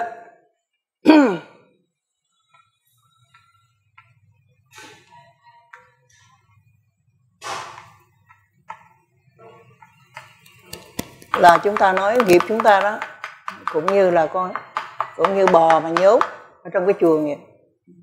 Tới cái giờ chết đó, là tới cái giờ mà nó mở cái cửa này nè để nó đi ra. Thì vậy mở cái cửa đi ra tức là cái lúc cận tử đó chúng ta thấy cái cảnh gì? Thì cái lúc đó chính là nghiệp của chúng ta đã nhốt trong cái chuồng này đang đi ra. Thành ra cái giờ mà sắp chết đó thấy cái cảnh gì thì nó sẽ đi theo cái đó mà nó tái sanh cho cái kiếp cái kiếp mà thân ngoại mạng chung rồi đó. Là mình sẽ sanh ra trong cái cõi đó, cõi gì thì nó dựa vào trong cái cảnh chủ này, ba cái cảnh này. Bởi vì chính vì cái chỗ này đó, mà sư cô luôn luôn nói với lại cái người thân của cái, một người sắp chết á, đừng khóc đừng có kêu gào lên. Đừng có làm gì bất an trong tâm mình hết. Bởi vì khi mình đứng gần một cái người mà người ta đang bất an mình lại bất an nữa hai cái bất an cộng lại phải thoái đoạn. Cái người ta đang chới giới người ta đang là, là coi như khủng hoảng như thế này mà mình đem đến sự bình an đem đến sự vững chãi thì người ta sẽ bình an trở lại và người ta sẽ bật những cảnh tục. Còn nếu không, mấy cái giờ đó mình kêu khóc lên đó ha. Mình à, mình than thở lên, mình rền rỉ lên đó, thì những cái đó nó gợi cho người ta cái cảnh xấu người ta sẽ nhớ lại hoặc là cảnh của nghiệp xấu. Cảnh là cái tướng của cái nghiệp xấu, nó thông qua tiếng khóc, thông qua cái mặt ủ ê của mình hoặc là ta thấy cảnh tái sanh, người ta sẽ sống chung với những người có khuôn mặt như thế. Cho nên có một cô đó, khi mà cổ à, người thân cổ khóc, thì gia đình của cổ cũng khuyên cổ như thế, thì cổ bị bức xúc lắm. Cổ mới nói rằng mọi người không có chấp nhận cái tình cảm của cổ đối với cái người thân đó.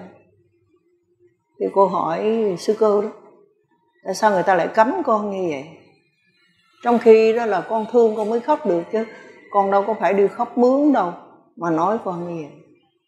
Thì sư cô mới nói rằng, cái chuyện cô thương người thân cô mà cô khóc, không ai dám nói cô là đi khóc mướn cả.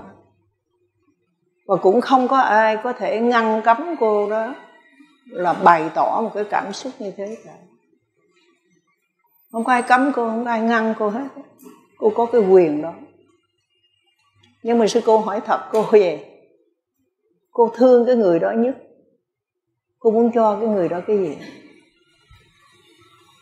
Khi mình thương ai nhất, mình phải đem an vui, hạnh phúc đến cho người đó. Mình thương ai nhất, cái món quà gì quý báu nhất của mình mình sẵn lòng cho người đó mà không thương tiếc. Vậy cô thương cái người nằm trong quan tài này đây đó. Cô biết người này khổ hay sướng?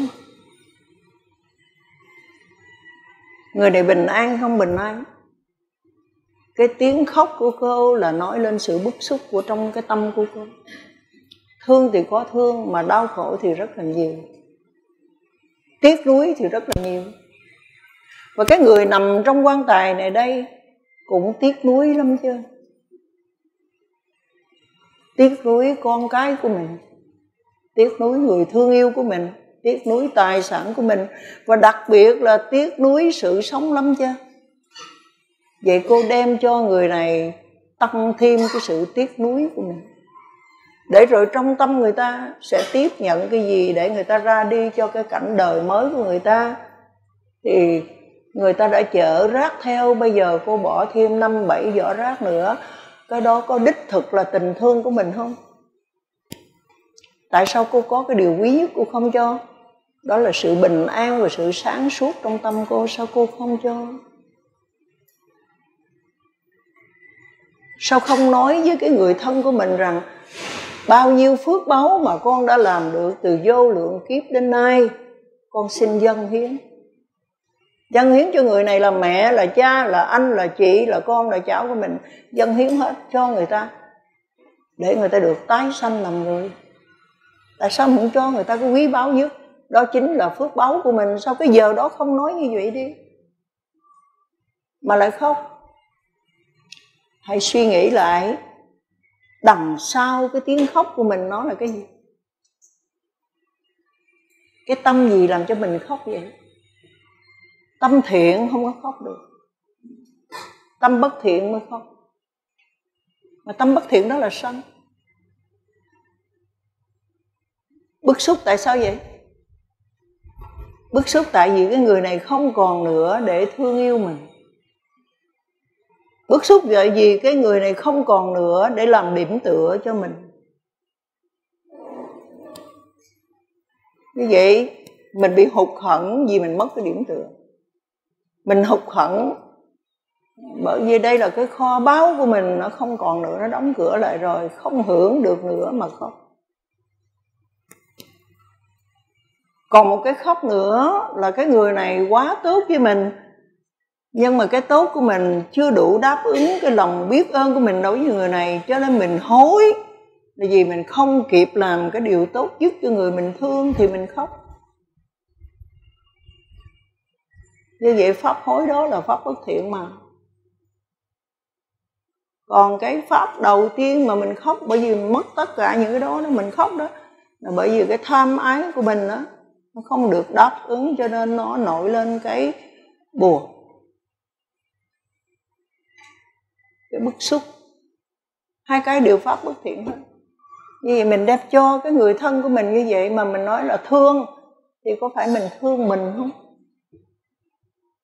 Cho nên đôi khi người ta nói người ta thương cái người bạn người ta lắm nhưng thật sự người ta thương người ta ấy, đầu tiên và có khi sống nhau suốt một cuộc đời đó, mình sẽ đọc thấy rõ là cái người bạn đời của mình đó người ta thương người ta chứ người ta không thương mình.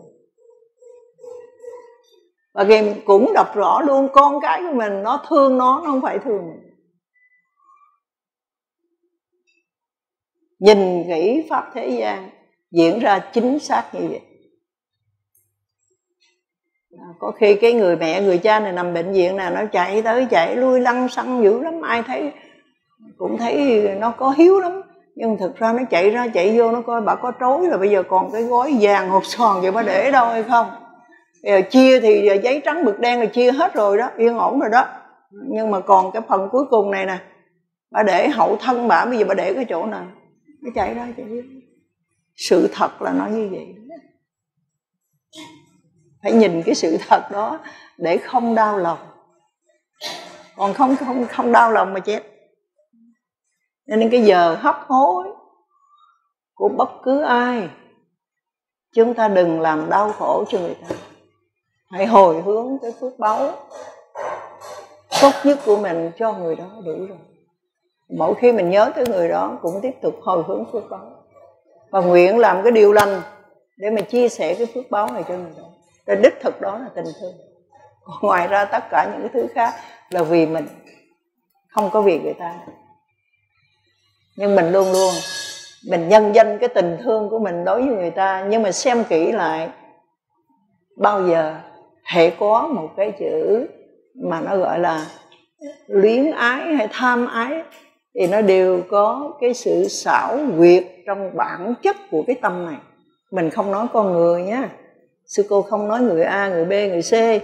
Sư cô nói bản chất của cái căm tham là bao giờ nó cũng rất là quỷ quyệt và nó luôn luôn nó ngụy biện. Khi nó xuất hiện ở nơi cái chúng sinh nào thì lập tức chúng sinh nó làm y như vậy.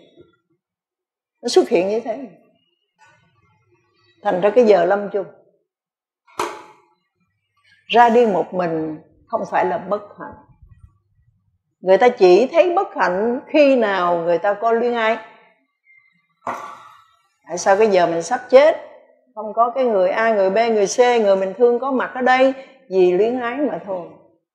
Chứ cái giờ cuối cùng trong cái cuộc đời mình á, mà một mình mình á, đối diện trong cái tâm thức của mình để mình ý thức rõ bây giờ sắc pháp này nó ra sao bây giờ cái trạng thái tâm này ra sao và chúng ta chỉ nhìn đó cho rõ thì cái giờ ra đi của chúng ta đây nè cái cảnh nghiệp thì nghiệp này là cái à, nghiệp thiện lành đây. Đây là nó gọi là duy tuệ thị nghiệp đây chứ không phải là những cái nghiệp của chúng sinh nữa. Dạ. Và cái nghiệp tướng này đây nè thì chúng ta sẽ thấy cái nơi chúng ta hành thiền chúng ta thấy những người bạn đang hành thiền, chúng ta thấy cái trường thiền, chúng ta thấy cái phòng thiền, chúng ta thấy cái nơi chốn chúng ta thiền, chúng ta thấy cái đề mục thiền của chúng ta, thì đây và cái cảnh sanh của chúng ta đây là một cái nhàn cảnh, tức là nơi đó con người tu tập. Nơi đó là một cái cảnh mà nó làm cho cái tâm thức thiện lành con người ta có điều kiện để phát sinh cho nên là cái cảnh chủ là cái cảnh nghiệp cảnh nghiệp tướng và cảnh thú tướng một trong ba cái cảnh này nó sẽ thở lên lên. Thì cái tâm chủ này là cái tâm mà nó bắt cảnh này. Thì cái tâm này đó nó thường nó chính là tâm hộ kiếp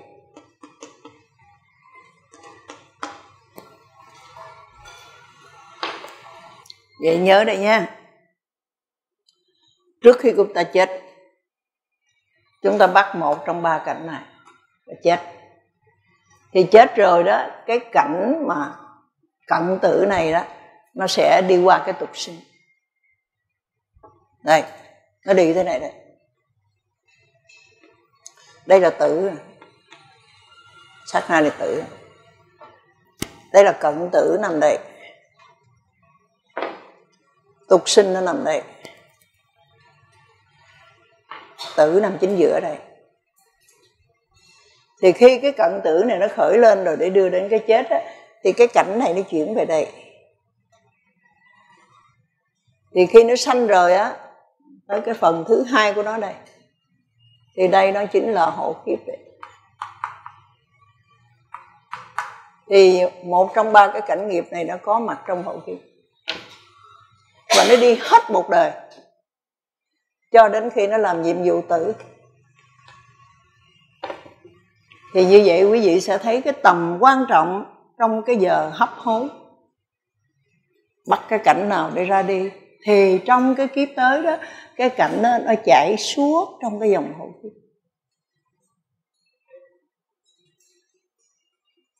Cho nên nó giờ cuối mà chúng ta để cái tâm hối nó phát sinh lên. Tiếc cái này thương cái kia lưu luyến cái nọ. Thì nguyên một kiếp sau của chúng ta y chang như vậy. Và để rồi thấy đó à, cái bàn tay ấm áp của con mình của cháu mình của tất cả cái sự sống chung quanh đây là tất cả những cái gì tốt đẹp nhất đó, thấy không? Thì những cái này nó làm thành một cái sự lưu luyến ở trong tâm đi suốt đi cho nên quý vị thấy không? Có khi chết rồi đó, đọa xuống làm con chó thì bằng mọi giá phải vô cái nhà đó ở cho được. Không thể ở chỗ khác. Nó phải gìn giữ cho cái nhà đó mà. có khi nó trở về đó, nó làm cả hai công việc rồi. Nó vừa gìn giữ cái nhà đó mà nó sẽ giết cái nhà đó. Cho nên có những con chó phản chủ, cắn chết chủ. Chó thường rất là trung thành, nhưng nó có thể giết chủ đó. Bởi vì nó làm hai công việc, mà cái giờ lâm chung của nó nó đã khấn sâu trong tâm. Nó phải quay trở lại như thế. Nên quý vị thấy cái người Việt Nam mình, cái đời sống tâm linh nó rất là bén nhạy quý vị có bao giờ chứng kiến cái chuyện mà cái người này hấp hối thì có người khác tới tới thăm. Rồi nói, chị ơi, em lỡ thiếu nợ chị mà em không có tiền trả. Thôi hôm nay cho em vét hết nhà em, còn chút xíu tiền cho em trả, còn phần còn lại cho em xin nha chị. Nếu người này đồng ý, rất tốt. Còn không đồng ý thì xấu cho cả hai bên người này chết rồi đó, ta sẽ tìm mọi cách để đuổi người này trong cái luân hồi để đòi cái nợ. Cho nên có khi tạo ác nghiệp. Lấy tiền của cha, của mẹ xài, của anh, của chị em xài, mà còn nói hỗn còn nói dữ, có khi còn đòi đánh đập, có khi còn giết người ta. Mà lấy cái tiền cho bằng được. Ngang nhiên, nghĩa là coi như là ngang ngược để mà làm cái điều đó.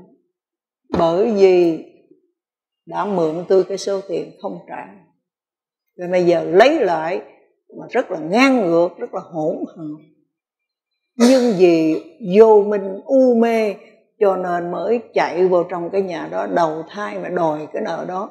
Quá ra cái tình cha mẹ đối với nhau mà mình đối xử như thế là ác nghiệp của mình.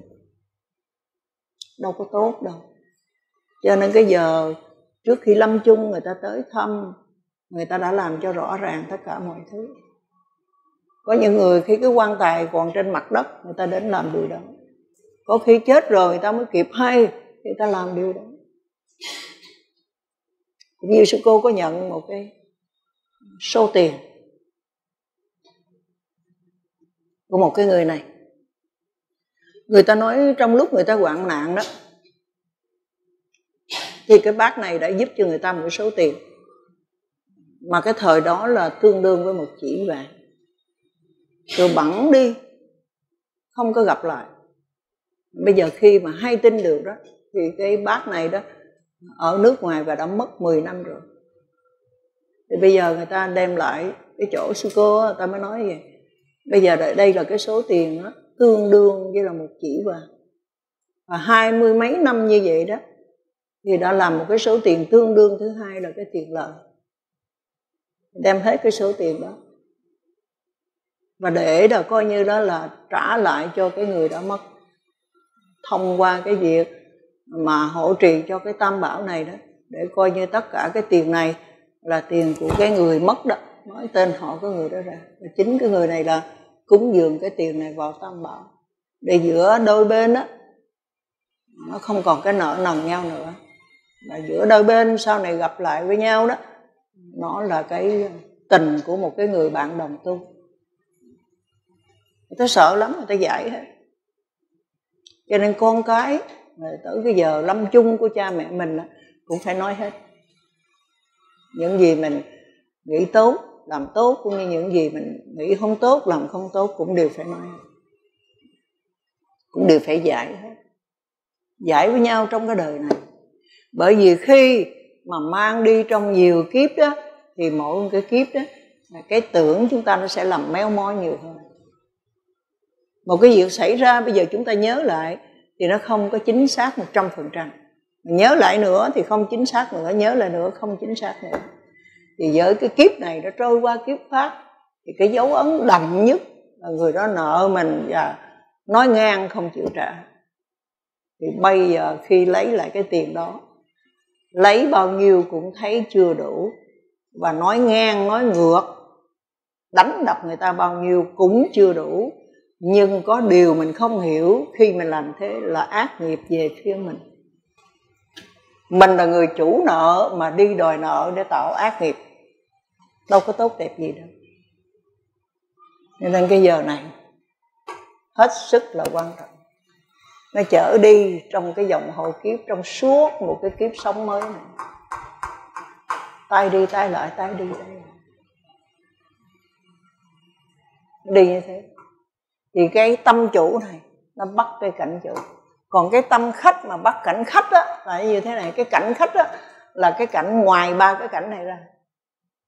Nó không có đụng tới ba cảnh này. Cảnh nào nó có bắt cũng, cũng được hết. Tất cả cảnh ngoại và cảnh nội. Nhưng mà nó trừ cái cảnh trong lúc cận tử ra thì gọi là cảnh khách. Và như vậy cái tâm nào nó bắt cái cảnh này thì gọi là cảnh khách. Nói về 10 tích 19 cái tâm tục sinh. Thì chúng ta có 19 tâm tục sinh đây. Về cõi dục giới thì có 8 cái tâm quả dục giới này đó, là làm tâm tục sinh. Hai cái tâm quả thuộc về quán sát đây. Thọ xả đây. Một cái bất thiện và cái thiện, đây là tâm tục sinh đó là 10 bây giờ năm cái tâm quả sắc giới, bốn tâm quả vô sắc giới là chín thì chính cái tâm quả sắc giới và vô sắc giới thuộc về thiền định. Cho nên là cái khi mà một cái bậc mà người ta đã đắc thiền định sắc giới và thiền định vô sắc giới đó, thì người ta cũng sẽ bắt một trong cái ba cảnh này. Nhưng mà là cảnh đẹp. Tức là cảnh thiện mà thôi. Thì như vậy đó là chính cái tâm mà à, chính cái à, tâm mà tục sinh mà thuộc về sắc giới và vô sắc giới này đó nó luôn luôn à, bắt cái cảnh chủ. Nó không bắt cảnh khách. Đó là cái điều đặc biệt của nó à, cho nên cái người tu mà đã được đắc thiền rồi đó mà khi mà ra đi á, mà tái sanh trong cái quả của cái tâm thiền đó thì cái phước báo lớn nhất của người này đó là ở chỗ là bắt cái cảnh tốt nhất trong cái giờ lâm chung và giữ như thế trên cái đường luân hồi của mình. Thành ra ta rất khó thoái đoạn. Nhưng mà riêng cái người ở cõi dục á với tám cái tâm thiện dục giới và hai cái à, tâm à, thiện cũng dục giới nữa mà hai cái tâm vô nhân đó cộng lại là 10 cái này đó thì 10 cái này là, có khi nó bắt cảnh chủ khi bắt cảnh khách. Có lúc thì bắt cảnh chủ có lúc thì bắt cảnh khách cái này lúc chúng ta học thì chúng ta sẽ tỉ mỉ cái này. Còn bây giờ thì nói cho mình biết rõ vậy đó. Là người ở cõi dục giới, tái sanh bằng tám tâm thiện dục giới và hai tâm vô nhân thì có thể bắt cảnh chủ và có thể bắt cảnh khách. Bắt cả hai cái trong đó. Thì lúc học thì chúng ta sẽ nói rõ hơn. Thôi bây giờ chúng ta tạm ngưng nơi đây đi. Hết giờ rồi.